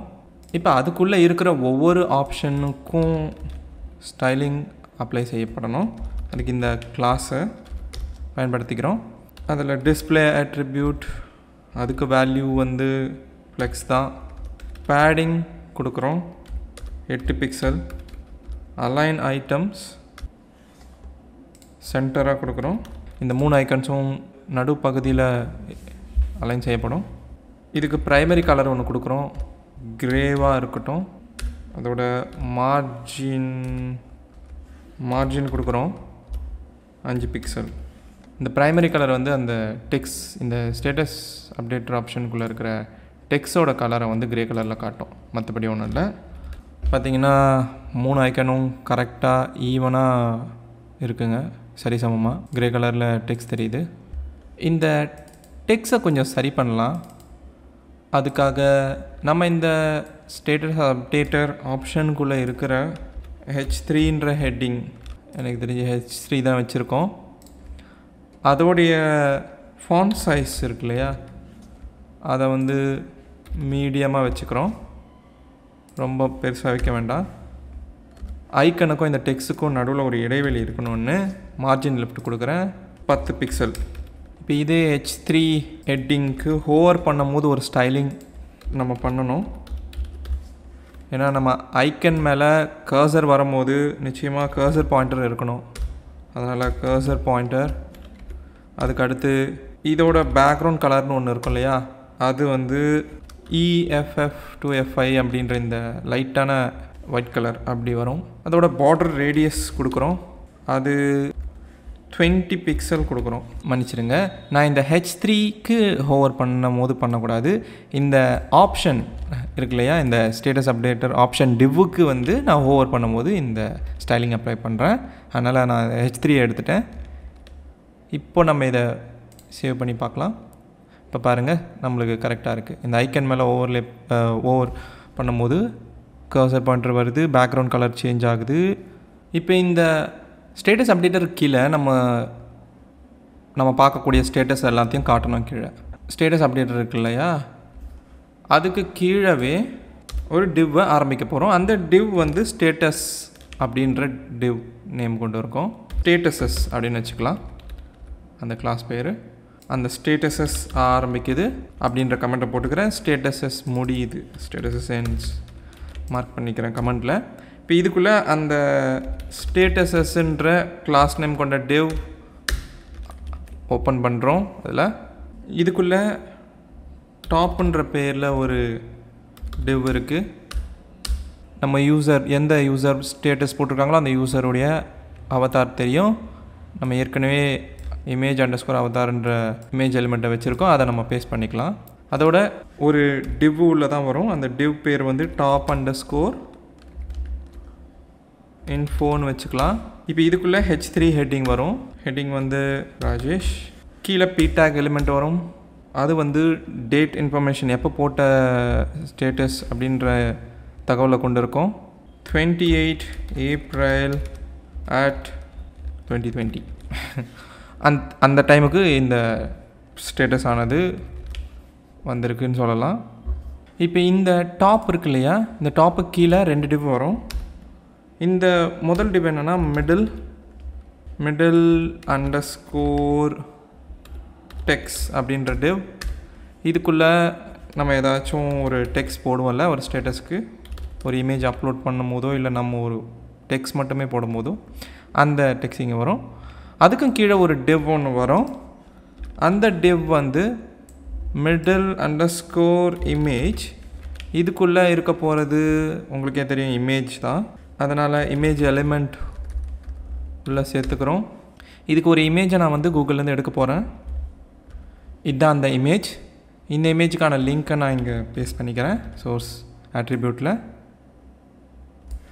இப்போ இந்த டிவ்வுக்கும் கீழே ஒரு டிவ் வரப்போகுது. அது பாட்டம்ன்ற நேமு கொண்ட கிளாஸ் நேமு கொண்ட ஒரு டிவ் அதில் ஆப்ஷன்ஸை தான் நம்ம கொடுத்துருப்போம். இது லைக்கா ஷேரா இல்லை கமெண்ட்டா அப்படின்ற ஆப்ஷன் அதனால் இந்த டிவுக்குள்ளே ஒரு டிவ் வரும்போது கிளாஸ் பேர் என்னென்னா போஸ்ட் இது ஒரு ஸ்டேட்டஸ் போஸ்ட் இல்லையா? அதனால் போஸ்ட் ஆப்ஷன் அப்படின்ற கிளாஸ் பேரை வச்சுருக்கோம். அதுக்குள்ளே நம்ம ஒரு ஸ்பேன் ஐக்கான் வைக்க போகிறோம் மெட்டீரியல் கிளாஸ் கொண்ட ஸ்பேன் எலிமெண்ட் உள்ளே சேர்க்குறோம். அது முதல்ல வந்து தம்ப் அது வெறும் தம்பு கிடையாது. தம்ப் அப்புன்னு நினைக்கிறேன். கரெக்ட் தம்ப் அப்புன்றது அந்த ஐக்கனுடைய பெயர். அதுக்கு அடுத்து ஒரு டெக்ஸ்ட் ஒன்று வரும். அது லைக் அப்படின்ற டெக்ஸ் ஏன்னா இது ஐக்கன் கூடவே டெக்ஸும் தெரியும் லைக்குன்னு இதே மாதிரி அடுத்து ஒரு ஆப்ஷன் இந்த post under score option div இன்னொன்று ஒன்று காப்பி பண்ணி பேஸ்ட் பண்ணிக்கிறேன். இந்த ஐக்கனுடைய பெயர் என்னென்னா chat underscore bubble underscore outline இந்த ஐக்கன் பக்கத்தில் வர டெக்ஸ் என்னன்னா கமெண்ட் அப்படின்ற டெக்ஸ் அதுக்கு அடுத்து இன்னொரு ஒரு டிவ் அந்த போஸ்ட் ஆப்ஷனில் வர ஐக்கன் பெயர் என்னென்னா நியர் அண்டர் ஸ்கோர் மீ அந்த ஐக்கன் பெயர் வந்து நியர் மீ அதோடைய டெக்ஸ்ட் வந்து ஷேர் சரி இப்போது இதை சேவ் பண்ணிவிட்டு அவுட்புட் போய் பார்க்கலாம். பார்த்திங்கன்னா அவுட்புட் இந்த மாதிரி வந்திருக்கு. இது ஒரு ஸ்டேட்டஸ் ஸ்டைலிங் எதுவும் பண்ணாதப்போ இப்படி தான் தெரியும். ஆனால் அதுக்கு முன்னாடி இங்கே நம்ம ஒரே ஒரு போஸ்ட் தான் வச்சுருக்கோம். சரியா? இந்த டிவ் இருக்கு இல்லையா? இந்த டிவ்வை நம்ம இன்னொரு வாட்டி காப்பி பண்ணி கீழே பேஸ்ட் பண்ணலாம். ஏன்னா இந்த போஸ்ட் எல்லா போஸ்ட்டுமே வந்து இமேஜோடு வரும்னு சொல்ல முடியாது. அதனால் இந்த போஸ்ட் வந்து இமேஜ் இல்லாத ஒரு போஸ்ட்டாக நம்ம வச்சுக்கலாம். இந்த ஸ்டேட்டஸை போட்ட ஃப்ரெண்டு வேறு ஒருத்தர்னு சொல்லலாம். அதோட இதுக்கு வெறும் இது வந்து வெறும் டெக்ஸ்ட் மட்டும் கொண்ட ஒரு போஸ்ட் இப்போ இதை சேவ் பண்ணிவிட்டு நம்ம போய் அவுட்புட் பார்க்குறோம். இங்கே பார்த்தீங்கன்னா இந்த ஸ்டேட்டஸ் வந்து இமேஜோடு போட்டிருக்காங்க. இந்த ஸ்டேட்டஸ் வெறும் டெக்ஸ்ட் மட்டும் போட்டிருக்காங்க. ரெண்டு வெவ்வேறு ஸ்டேட்டஸ் இமேஜ் இருந்து இல்லாமல் நம்ம பார்க்குறோம்.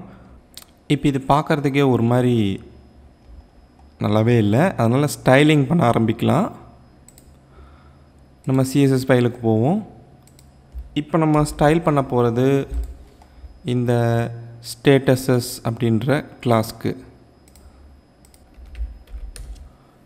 நம்ம முதல்ல இந்த ஸ்டேட்டஸஸ் கிளாஸ்க்குள்ளே போட போகிற ப்ராப்பர்ட்டி என்னென்னா வித்து ஹண்ட்ரட் பர்சன்டேஜ் எடுத்துக்கணும். ஸோ மொத்த வித்தையும் எடுத்துக்கணும். மார்ஜின் டாப் ஃபிஃப்டீன் பிக்சல் கொடுக்கலாம். அடுத்து பார்டர் ரேடியஸ் கொடுக்கலாம். இந்த டிவுக்கு பார்டர் ரேடியஸ் வரும். அதுவும் ஃபிஃப்டீன் பிக்சல் கொடுக்கலாம். பேக்ரவுண்ட் கலர் கொடுக்கலாம். அது ஒயிட்டாக இருக்கட்டும். பாக்ஸ் ஷேடோ கொடுக்கலாம். அது ஏற்கனவே நம்ம இதுக்கு முன்னாடி கொடுத்துருப்போம் இல்லையா? இந்த பாக்ஸ் ஷேடோ இந்த ஸ்டேட்டஸ் அப்டேட்டருக்கு இருக்கிற அதே பாக்ஸ் ஷேடோ தான்.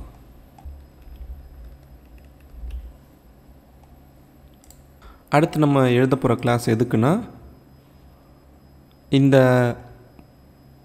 ஸ்டேட்டஸஸ் கிளாஸ்க்குள்ளே இருக்கிற இந்த மிடில் அண்டர் ஸ்கோர் இமேஜ் அப்படின்ற கிளாஸ்க்கு அதனால் ஸ்டேட்டஸஸ் அதுக்குள்ளே இருக்கிற மிடில் அண்டர் ஸ்கோர் இமேஜ் எப்போல்லாம் நான் வந்து அண்டர் ஸ்கோர் சொல்கிறேனோ அதை புரிஞ்சுக்கோங்க. அது அண்டர் ஸ்கோர் இல்லை டபுள் அண்டர் ஸ்கோர் இதுக்கடுத்து இதுக்குள்ளே நம்ம கொடுக்க போகிறது வித் ஹண்ட்ரட் பர்சன்ட் அவ்வளோதான் ஹண்ட்ரட் பர்சன்ட் நம்ம இந்த ஃபோட்டோக்கான வித்தை எடுத்துக்கணும்.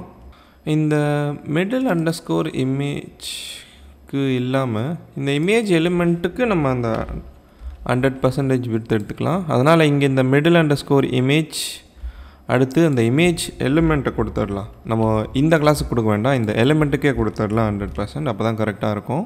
அடுத்து எந்த கிளாஸுக்கு ஸ்டைல் பண்ணலான்னா நம்ம இந்த டாப்புன்ற ஒரு கிளாஸ் இருக்கு இல்லையா அதுக்கு அதனால் ஸ்டேட்டஸஸ்குள்ளே இருக்கிற டாப் அப்படின்ற கிளாஸ்க்கு நம்ம கொடுக்க போகிறது டிஸ்பிளே ஃப்ளெக்ஸ் கொடுக்குறோம். பொசிஷன் வந்து ரிலேட்டிவாகவே இருக்கட்டும். அலைன் ஐட்டம்ஸ் கொடுக்குறோம். சென்டராக இருக்கணும்னு. பேடிங் வந்து கொடுக்கலாம். ஃபிஃப்டீன் பிக்சல் கொடுக்கலாம். இப்போ இதை சேவ் பண்ணிவிட்டு எப்படி இருக்குன்னு பார்க்கலாம். இப்போ பார்த்தீங்கன்னா இந்த போஸ்டெல்லாம் பாருங்கள் நல்லாயிருக்கு ஓரளவுக்கு. ஆனால் இன்னும் நம்ம ஒரு சில திருத்தங்கள்லாம் பண்ணணும்.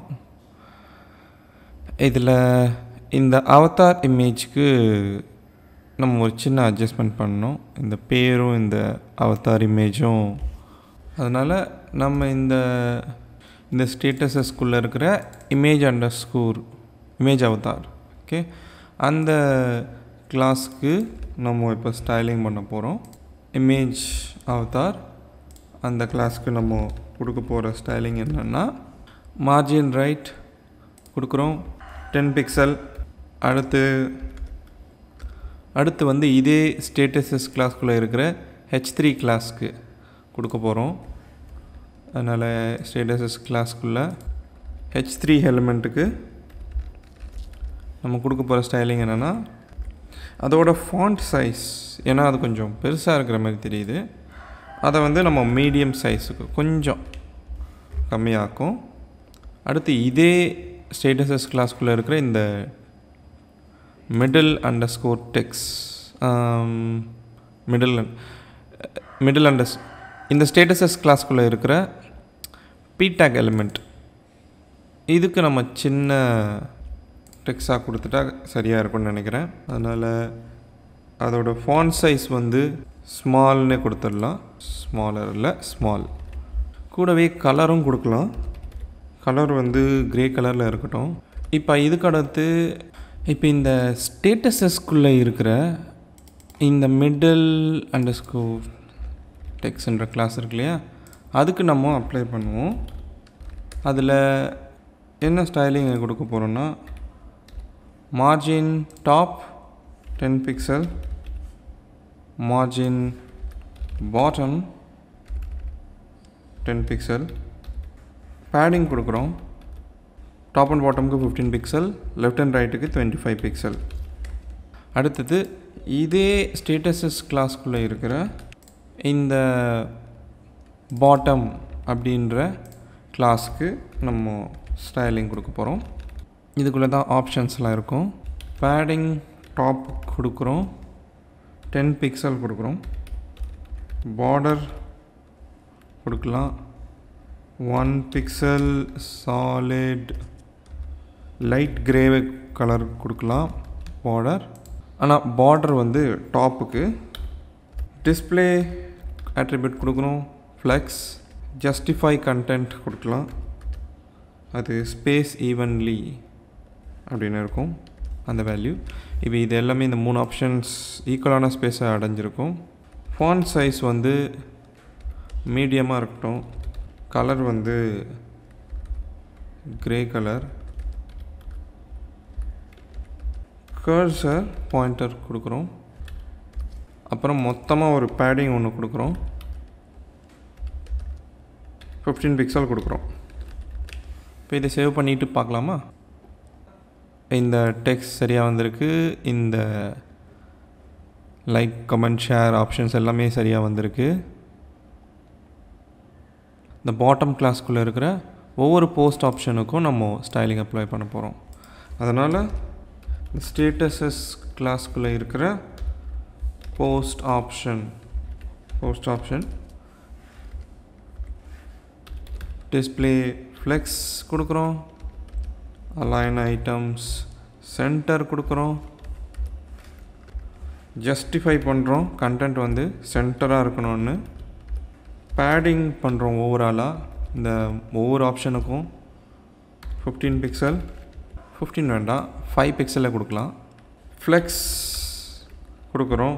எல்லாத்துக்கும் கரெக்டான அந்த ஒரு ஸ்பேஸ் இருக்கும். இதுக்கு அடுத்து இந்த டெக்ஸ்ட் இருக்கு இல்லையா இந்த போஸ்ட் ஆப்ஷனுக்கு இந்த ஐக்கனுக்கும் இந்த டெக்ஸுக்கும் ஒரு இடைவெளி கொடுக்கணும். அதனால் வந்து ஸ்டேட்டஸ் போஸ்ட் ஆப்ஷன்ஸ்குள்ளே நம்ம பி டேக் எலிமெண்ட் இருக்குது அதுக்கு மார்ஜின் லெஃப்ட் டென் பிக்சல் கொடுக்குறோம். அதுக்கடுத்து இப்போ அதே ஸ்டேட்டஸஸ் போஸ்ட் ஆப்ஷன் நம்ம எப்பெல்லாம் வந்து அந்த போஸ்ட் ஆப்ஷன் மேலே கர்சரை கொண்டு போகிறோமோ ஓவர் பண்ணுறோமோ அப்போ என்ன நடக்கணும்னா பேக்ரவுண்ட் கலர் இருக்கும்ல அது வந்து தெரியணும். அந்த பேக்ரவுண்ட் கலர் வந்து ஏற்கனவே நம்ம கொடுத்த E F F two F I இந்த கலர் தான். பார்டர் ரேடியஸ் கொடுக்குறோம். எவ்வளோன்னா டென் பிக்சல் கொடுக்குறோம். இப்போ இதை சேவ் பண்ணிவிட்டு பார்க்கலாம் அவுட்புட் எப்படி வருதுன்னு. ரெஃப்ரெஷ் பண்ணுவோம். இங்கே பாருங்கள் இப்போ எல்லாமே கரெக்டாக இருக்குது உங்களுக்கு போஸ்ட் இமேஜ் எல்லாமே வந்து இப்போது சரியாக வந்திருக்கு. கீழே ஆப்ஷன்ஸ் ஹைலைட்டாக வருது பேக்ரவுண்ட் கலர் இப்போ இது உங்களுக்கு கரெக்டாக தான் இருக்குது இப்போ இந்த வலது பக்கம் அதாவது ரைட் சைடில் வந்து உங்களுக்கு ஃபேஸ்புக்கோட விட்ஜெட் செக்ஷன் வரும்.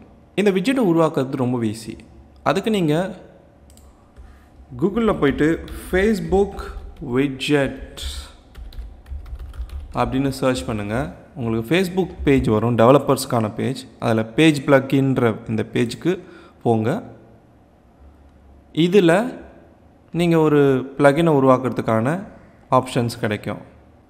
அதில் நீங்கள் இந்த விட்த் வந்து ஃபைவ் ஹண்ட்ரட் கொடுக்கலாம். ஹைட்டு வந்து தௌசண்ட் கொடுக்கலாம். பேஜுக்கு நீங்கள் கெட் கோடுன்ற ஒரு ஆப்ஷன் இருக்கும். அதை கிளிக் பண்ணுங்கள் முதல்ல நீங்கள் வந்து இந்த ஸ்டெப் ஒன்க்குள்ளே இருக்கிற இந்த இந்த கோடை காப்பி பண்ணிக்கோங்க. அதை வந்து உங்கள் கோட் எடிட்டரில் இந்த மெயின் பாடி என்ஜின் போட்டிருக்கோம் பார்த்தீங்களா அந்த கமெண்ட்டுக்கு அப்புறம் பேஸ்ட் பண்ணிக்கோங்க. அதுக்கடுத்து இந்த ரெண்டாவது ஸ்டெப்புக்குள்ளே இருக்கிற கோடை காப்பி பண்ணிக்கோங்க. அதை வந்து நீங்கள் எங்கே வேணாலும் பயன்படுத்திக்கலாம். நான் வந்து இந்த ஃபீடு ஹென்ஸுன்ற கமெண்ட் போட்டிருக்கோம் இல்லையா? இதுக்கு அடுத்து நான் வச்சுக்கிறேன். ஆனால் அதை வந்து அப்படியே வைக்க அப்படியே காப்பி பண்ணி பேஸ்ட் பண்ணாமல் நம்ம விட்ஜெட்ஸுன்ற ஒரு கிளாஸ் அதை கொண்ட ஒரு டிவை உருவாக்கிடலாம். அதுக்குள்ளே நம்ம இந்த கோடை பேஸ்ட் பண்ணிடலாம். இப்போ இந்த டிவில் நம்ம இன்லைன் ஸ்டைலிங் கொடுக்கலாம். அதனால் ஸ்டைல் ஆட்ரிபியூட்டில் நான் ஃப்ளெக்ஸ் ஆட்ரிபியூட் பயன்படுத்துகிறேன் அதில் ஜீரோ பாயிண்ட் த்ரீ த்ரீ கொடுக்குறேன். அதாவது முப்பத்தி மூணு பர்சன்டேஜ் ஸ்க்ரீனோட அளவை இந்த விட்ஜெட்டுக்காக ஒதுக்குறோம். அப்போ அந்த அளவு வரைக்கும் இந்த விட்ஜெட் செக்ஷன் தெரியும். இப்போ போயிட்டு நம்ம இந்த ஃபைலை சேவ் பண்ணிவிட்டு அவுட்புட் பார்த்தோம்னா இந்த மாதிரி நம்மளுக்கு விட்ஜெட் செக்ஷன் இந்த ரைட் சைடில் வந்திருக்கு பாருங்கள் அதோட நீங்கள் கவனிச்சிங்களா இந்த ஸ்டோரி செக்ஷன் வந்து முன்னாடி சரியாக இல்லாமல் இருந்துச்சு. இப்போது நடு பக்கத்தில் வந்து கரெக்டாக அமைஞ்சிருக்கு. நம்ம எல்லாத்தையும் முடிச்சாச்சு. இந்த பேஜ் வந்து ரெஸ்பான்சிவ்னஸ் கொண்டு இல்லை. அதாவது நீங்கள் மொபைல் வியூவில் பார்க்கும்போது இந்த பேஜ் அந்த மொபைல் பேஜுக்கான ஒரு வியூவை கொண்டு இருக்கணும். ஆனால் இங்கே பாருங்கள் எப்படி தெரியுதுன்னு. நம்ம ரெஸ்பான்சிவ்னஸ் வந்து ஒரு டேப்லெட்டுக்கு வைக்கலாம். பார்த்திங்கன்னா எதுக்குமே வந்து சரியாக ரெஸ்பான்சிவ்னஸ் இல்லை. பார்த்தீங்களா? அது எந்த வியூவுக்குமே அது வந்து ரெஸ்பான்சிவ்னஸ் சரியாக கொடுக்கல. அப்போ நம்ம வந்து இதுக்கு நிச்சயமாக வந்து ரெஸ்பான்சிவ்னஸ் கொடுக்கணும். ஒரு ஒரு டிவைஸ்க்கு ஏற்ற மாதிரியான தோற்றங்கள் மாறிக்கிட்டே வரணும். அதை பண்ணுறதுக்கு நம்ம மீடியா கொரிஸ் எழுதணும். இப்போ நம்ம ஸ்டைல் டாட் சிஎஸ்எஸ் ஃபைலுக்கு மறுபடியும் போகலாம் டேப்லெட்டுக்கான ஒரு ரெஸ்பான்சிவ்னஸ் இந்த விட்டுக்கு இந்த விட்டுக்கு நம்ம என்னென்னலாம் மீடியா கொரிஸ் எழுத போகிறோங்கிறது தான் இந்த சிஎஸ்எஸில் பார்க்க போகிறோம் media of max iPhone with seven hundred இல்லை செவன் சிக்ஸ்டி எயிட் பிக்சல் அதாவது இந்த seven sixty eight pixel width இருக்கு இல்லையா? இதுக்கு நம்ம பண்ண போகிறது என்னென்னா இந்த சைட் பார் இருக்கு இல்லையா? அதை வந்து நம்ம ஹைட் பண்ண போகிறோம் நம்ம அது நம்மளுக்கு வந்து அது தேவை கிடையாது. அதனால் இந்த சைட் பாரை நான் இப்போ டார்கெட் பண்ண போகிறேன் அதனால் சைட் பார் கிளாஸ்க்கு டிஸ்பிளே நன் இப்போ இந்த இந்த அட்ரிபியூட் கொடுத்த உடனே பிட்டுக்கு பார்த்தீங்கன்னா இந்த சைட் பார் வராது. இந்த ஆங்கிளில் நீங்கள் பார்க்கும்போது உங்களால் ஃபுல்லாக பார்க்க முடியும். சரி இப்போ அடுத்து நம்ம பண்ண போகிறது இந்த ஹெடர் இன்புட்டும் நம்மளுக்கு வந்து இந்த இந்த- வித்துக்கு வந்து தெரிய வேண்டாம்னு நினைக்கிறேன். அதனால் நம்ம ஹெடர் இம்போர்ட்டை எங்கே இன் வச்சுருக்கோம் அப்படின்னு பார்த்தோம்னா இந்த அதாவது இந்த சர்ச் பண்ணுவோம் இல்லையா அந்த இம்போர்ட் இங்கே இருக்குது அந்த ஹெட்டர் அண்டர் ஸ்கோர் இன்புட் அதனால் ஹெட்டர் அதில் ஹெட்டர் இம்போர்ட் டிஸ்பிளே நன்னு கொடுப்போம். இப்போது இந்த விடத்துக்கு அந்த சர்ச் இம்போர்ட்டும் தெரியாது. அடுத்து இந்த ஹெட்டர் மிடில் இருக்குது பார்த்தீங்களா? இதுவுமே நம்மளுக்கு வந்து தெரிய வேண்டாம். அதனால் நம்ம ஹெட்டர் மிடலுக்கும் இதே மாதிரி டிஸ்பிளே நன்னு கொடுத்துடலாம். ஹெட்டர் கிளாஸ்குள்ளே இருக்கிற ஹெட்டர் மிடில். அதுவும் டிஸ்பிளே நன். இப்போ போய் பார்த்தோம்னா இதுவுமே இருக்காது. அடுத்து இந்த ஹெட்டர் இன்ஃபோ இருக்குல்ல இந்த இமேஜ் அவதார் அதெல்லாம் பேர் நம்ம அதுக்குள்ளே நம்ம இமேஜ் அவதாரும் நம்மளுடைய பேரும் இருக்கும். இந்த ஏரியா இதுவுமே நம்மளுக்கு வந்து தெரிய வேணாம். அதனால் ஹெட்டருக்குள்ளே இருக்கிற ஹெட்டர் இன்ஃபோ அப்படின்ற கிளாஸ் அதை டார்கெட் பண்ணுறோம் அதில் அதுவும் நம்மளுக்கு தெரிய வேண்டாம். டிஸ்பிளே நன்னுன்னு கொடுத்துட்றோம். இப்போ போய் பார்த்தோம்னா அதுவுமே தெரியாது. அடுத்து இந்த விஜெட் செக்ஷன் இருக்கு இல்லையா? இந்த மெயின் பாடி எண்ட்ஸ்க்கு அப்புறம் வர இந்த விஜெட்ஸ் கிளாஸ் இந்த ஏரியாவையும் நம்ம மறைச்சிடலாம். அதனால் விஜெட்ஸ் அதில் டிஸ்பிளே நன் கொடுத்துடலாம். இப்போ நம்ம இதையும் பார்க்க தேவையில்லை. இப்போ பாருங்கள் அந்த விஜெட் செக்ஷனும் போயிடுச்சு. இப்போ இந்த ஃபீடு செக்ஷன் இருக்குது பார்த்தீங்களா இதை நம்ம வந்து மொத்தமாக இந்த ஸ்க்ரீன் எடுத்துக்கிற அளவுக்கு நம்ம விட்டை கொஞ்சம் சேஞ்ச் பண்ண வேண்டியது இருக்குது அப்போ தான் நல்லாயிருக்கும். அதனால் நம்ம இந்த அதாவது இந்த ஒரு ஒரு ஸ்டேட்டஸ் எல்லாம் எதுக்குள்ளே வருதுன்னா இந்த ஃபீடுன்ற கிளாஸ்க்குள்ளே வருது. அதனால் இந்த ஃபீட் ஃபீட் கிளாஸ்க்கு நம்ம எழுத போகிற ஸ்டைலிங் என்னென்னா மார்ஜின் டாப் வந்து டுவெண்ட்டி பிக்சல் வித்து வந்து ஹண்ட்ரட் பர்சன்டேஜ் எடுத்துக்கும். பேடிங் வந்து ஜீரோ கொடுக்குறோம். இப்போ போய் பார்த்தா பாருங்கள் இப்போது நம்மளுடைய ஃபீட் போஸ்ட் அதாவது இந்த ஸ்டேட்டஸஸ் எல்லாமே வந்து சரியாக தெரியுதுன்னு நினைக்கிறேன். சரி இப்போ அடுத்து இப்போ இந்த ஸ்டோரி இருக்கு இல்லையா? இந்த ஸ்டோரியில் இந்த ஐக்கனையும் இந்த டெக்ஸ்டையும் கொஞ்சம் சைஸ் கம்மி பண்ண பார்க்கலாம். இந்த ஸ்டோரி ரீலுக்குள்ளே இருக்கிற இந்த ஸ்டோரி அப்படின்ற கிளாஸ் கொண்ட டிவ்ஸ் அதை டார்கெட் பண்ணலாம். ஸ்டோரி அதுக்குள்ளே ஹெச் ஃபோருன்ற டார்கெட்டை ஹெச் ஃபோருன்ற எலிமெண்ட்டை டார்கெட் பண்ணுவோம். அதுக்கு இந்த மீடியா குவரி வரும்போது ஃபான் சைஸ் கம்மியாகணும். டென் பிக்சல் இருந்தால் போதும். அடுத்து இதே ஸ்டோரி கிளாஸில் இருக்கிற இமேஜ் எலிமெண்ட்டுக்கு விட்த்து வந்து ஃபார்ட்டி பிக்சல் இருந்தால் போதும். சேவ் பண்ணிவிட்டு இப்போது போய் பார்க்கலாம். இப்போ பார்த்தீங்கன்னா கொஞ்சம் சின்னதாக இருக்குது இமேஜ் இமேஜும் இந்த டெக்ஸும் இந்த ஐபேட் அதாவது இந்த டேப் டேப்லெட் வியூவுக்கு நம்மளுக்கு சரியாக இருக்கும்.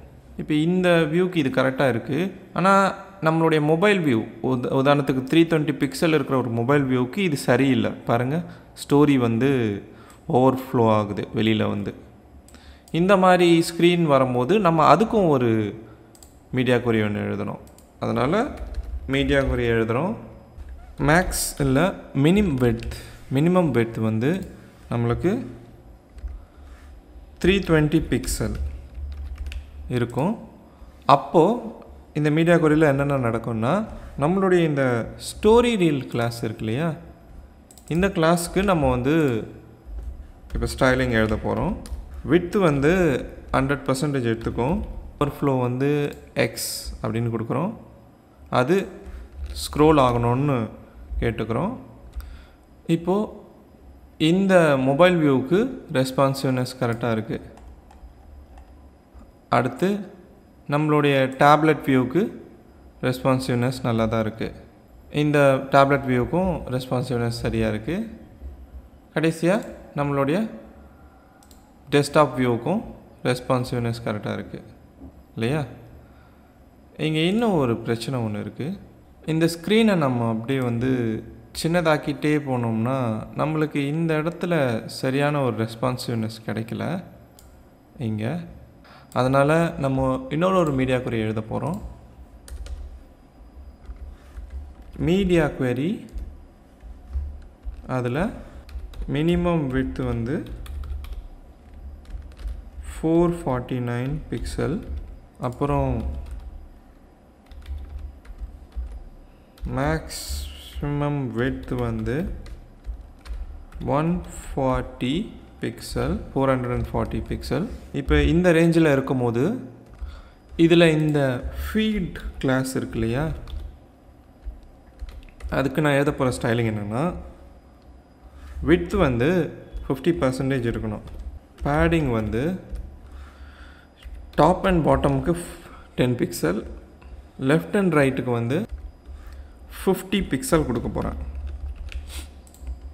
இப்போ நம்ம இதை சேவ் பண்ணிவிட்டு போய் பார்க்குறோம் ரிஃப்ரெஷ் பண்ணுவோம். இப்போ பார்த்திங்கன்னா நம்மளுடைய ரெஸ்பான்சிவ்னஸ் வந்து சரியாக வேலை செய்கிற மாதிரி இருக்கும். இப்போ பாருங்கள் நம்மளுடைய மொபைல் வியூக்கும் ரெஸ்பான்சிவ்னஸ் சரியாக இருக்குது டேப்லெட் வியூக்கும் ரெஸ்பான்சிவ்னஸ் சரியாக இருக்குது லேப்டாப் வியூ இது.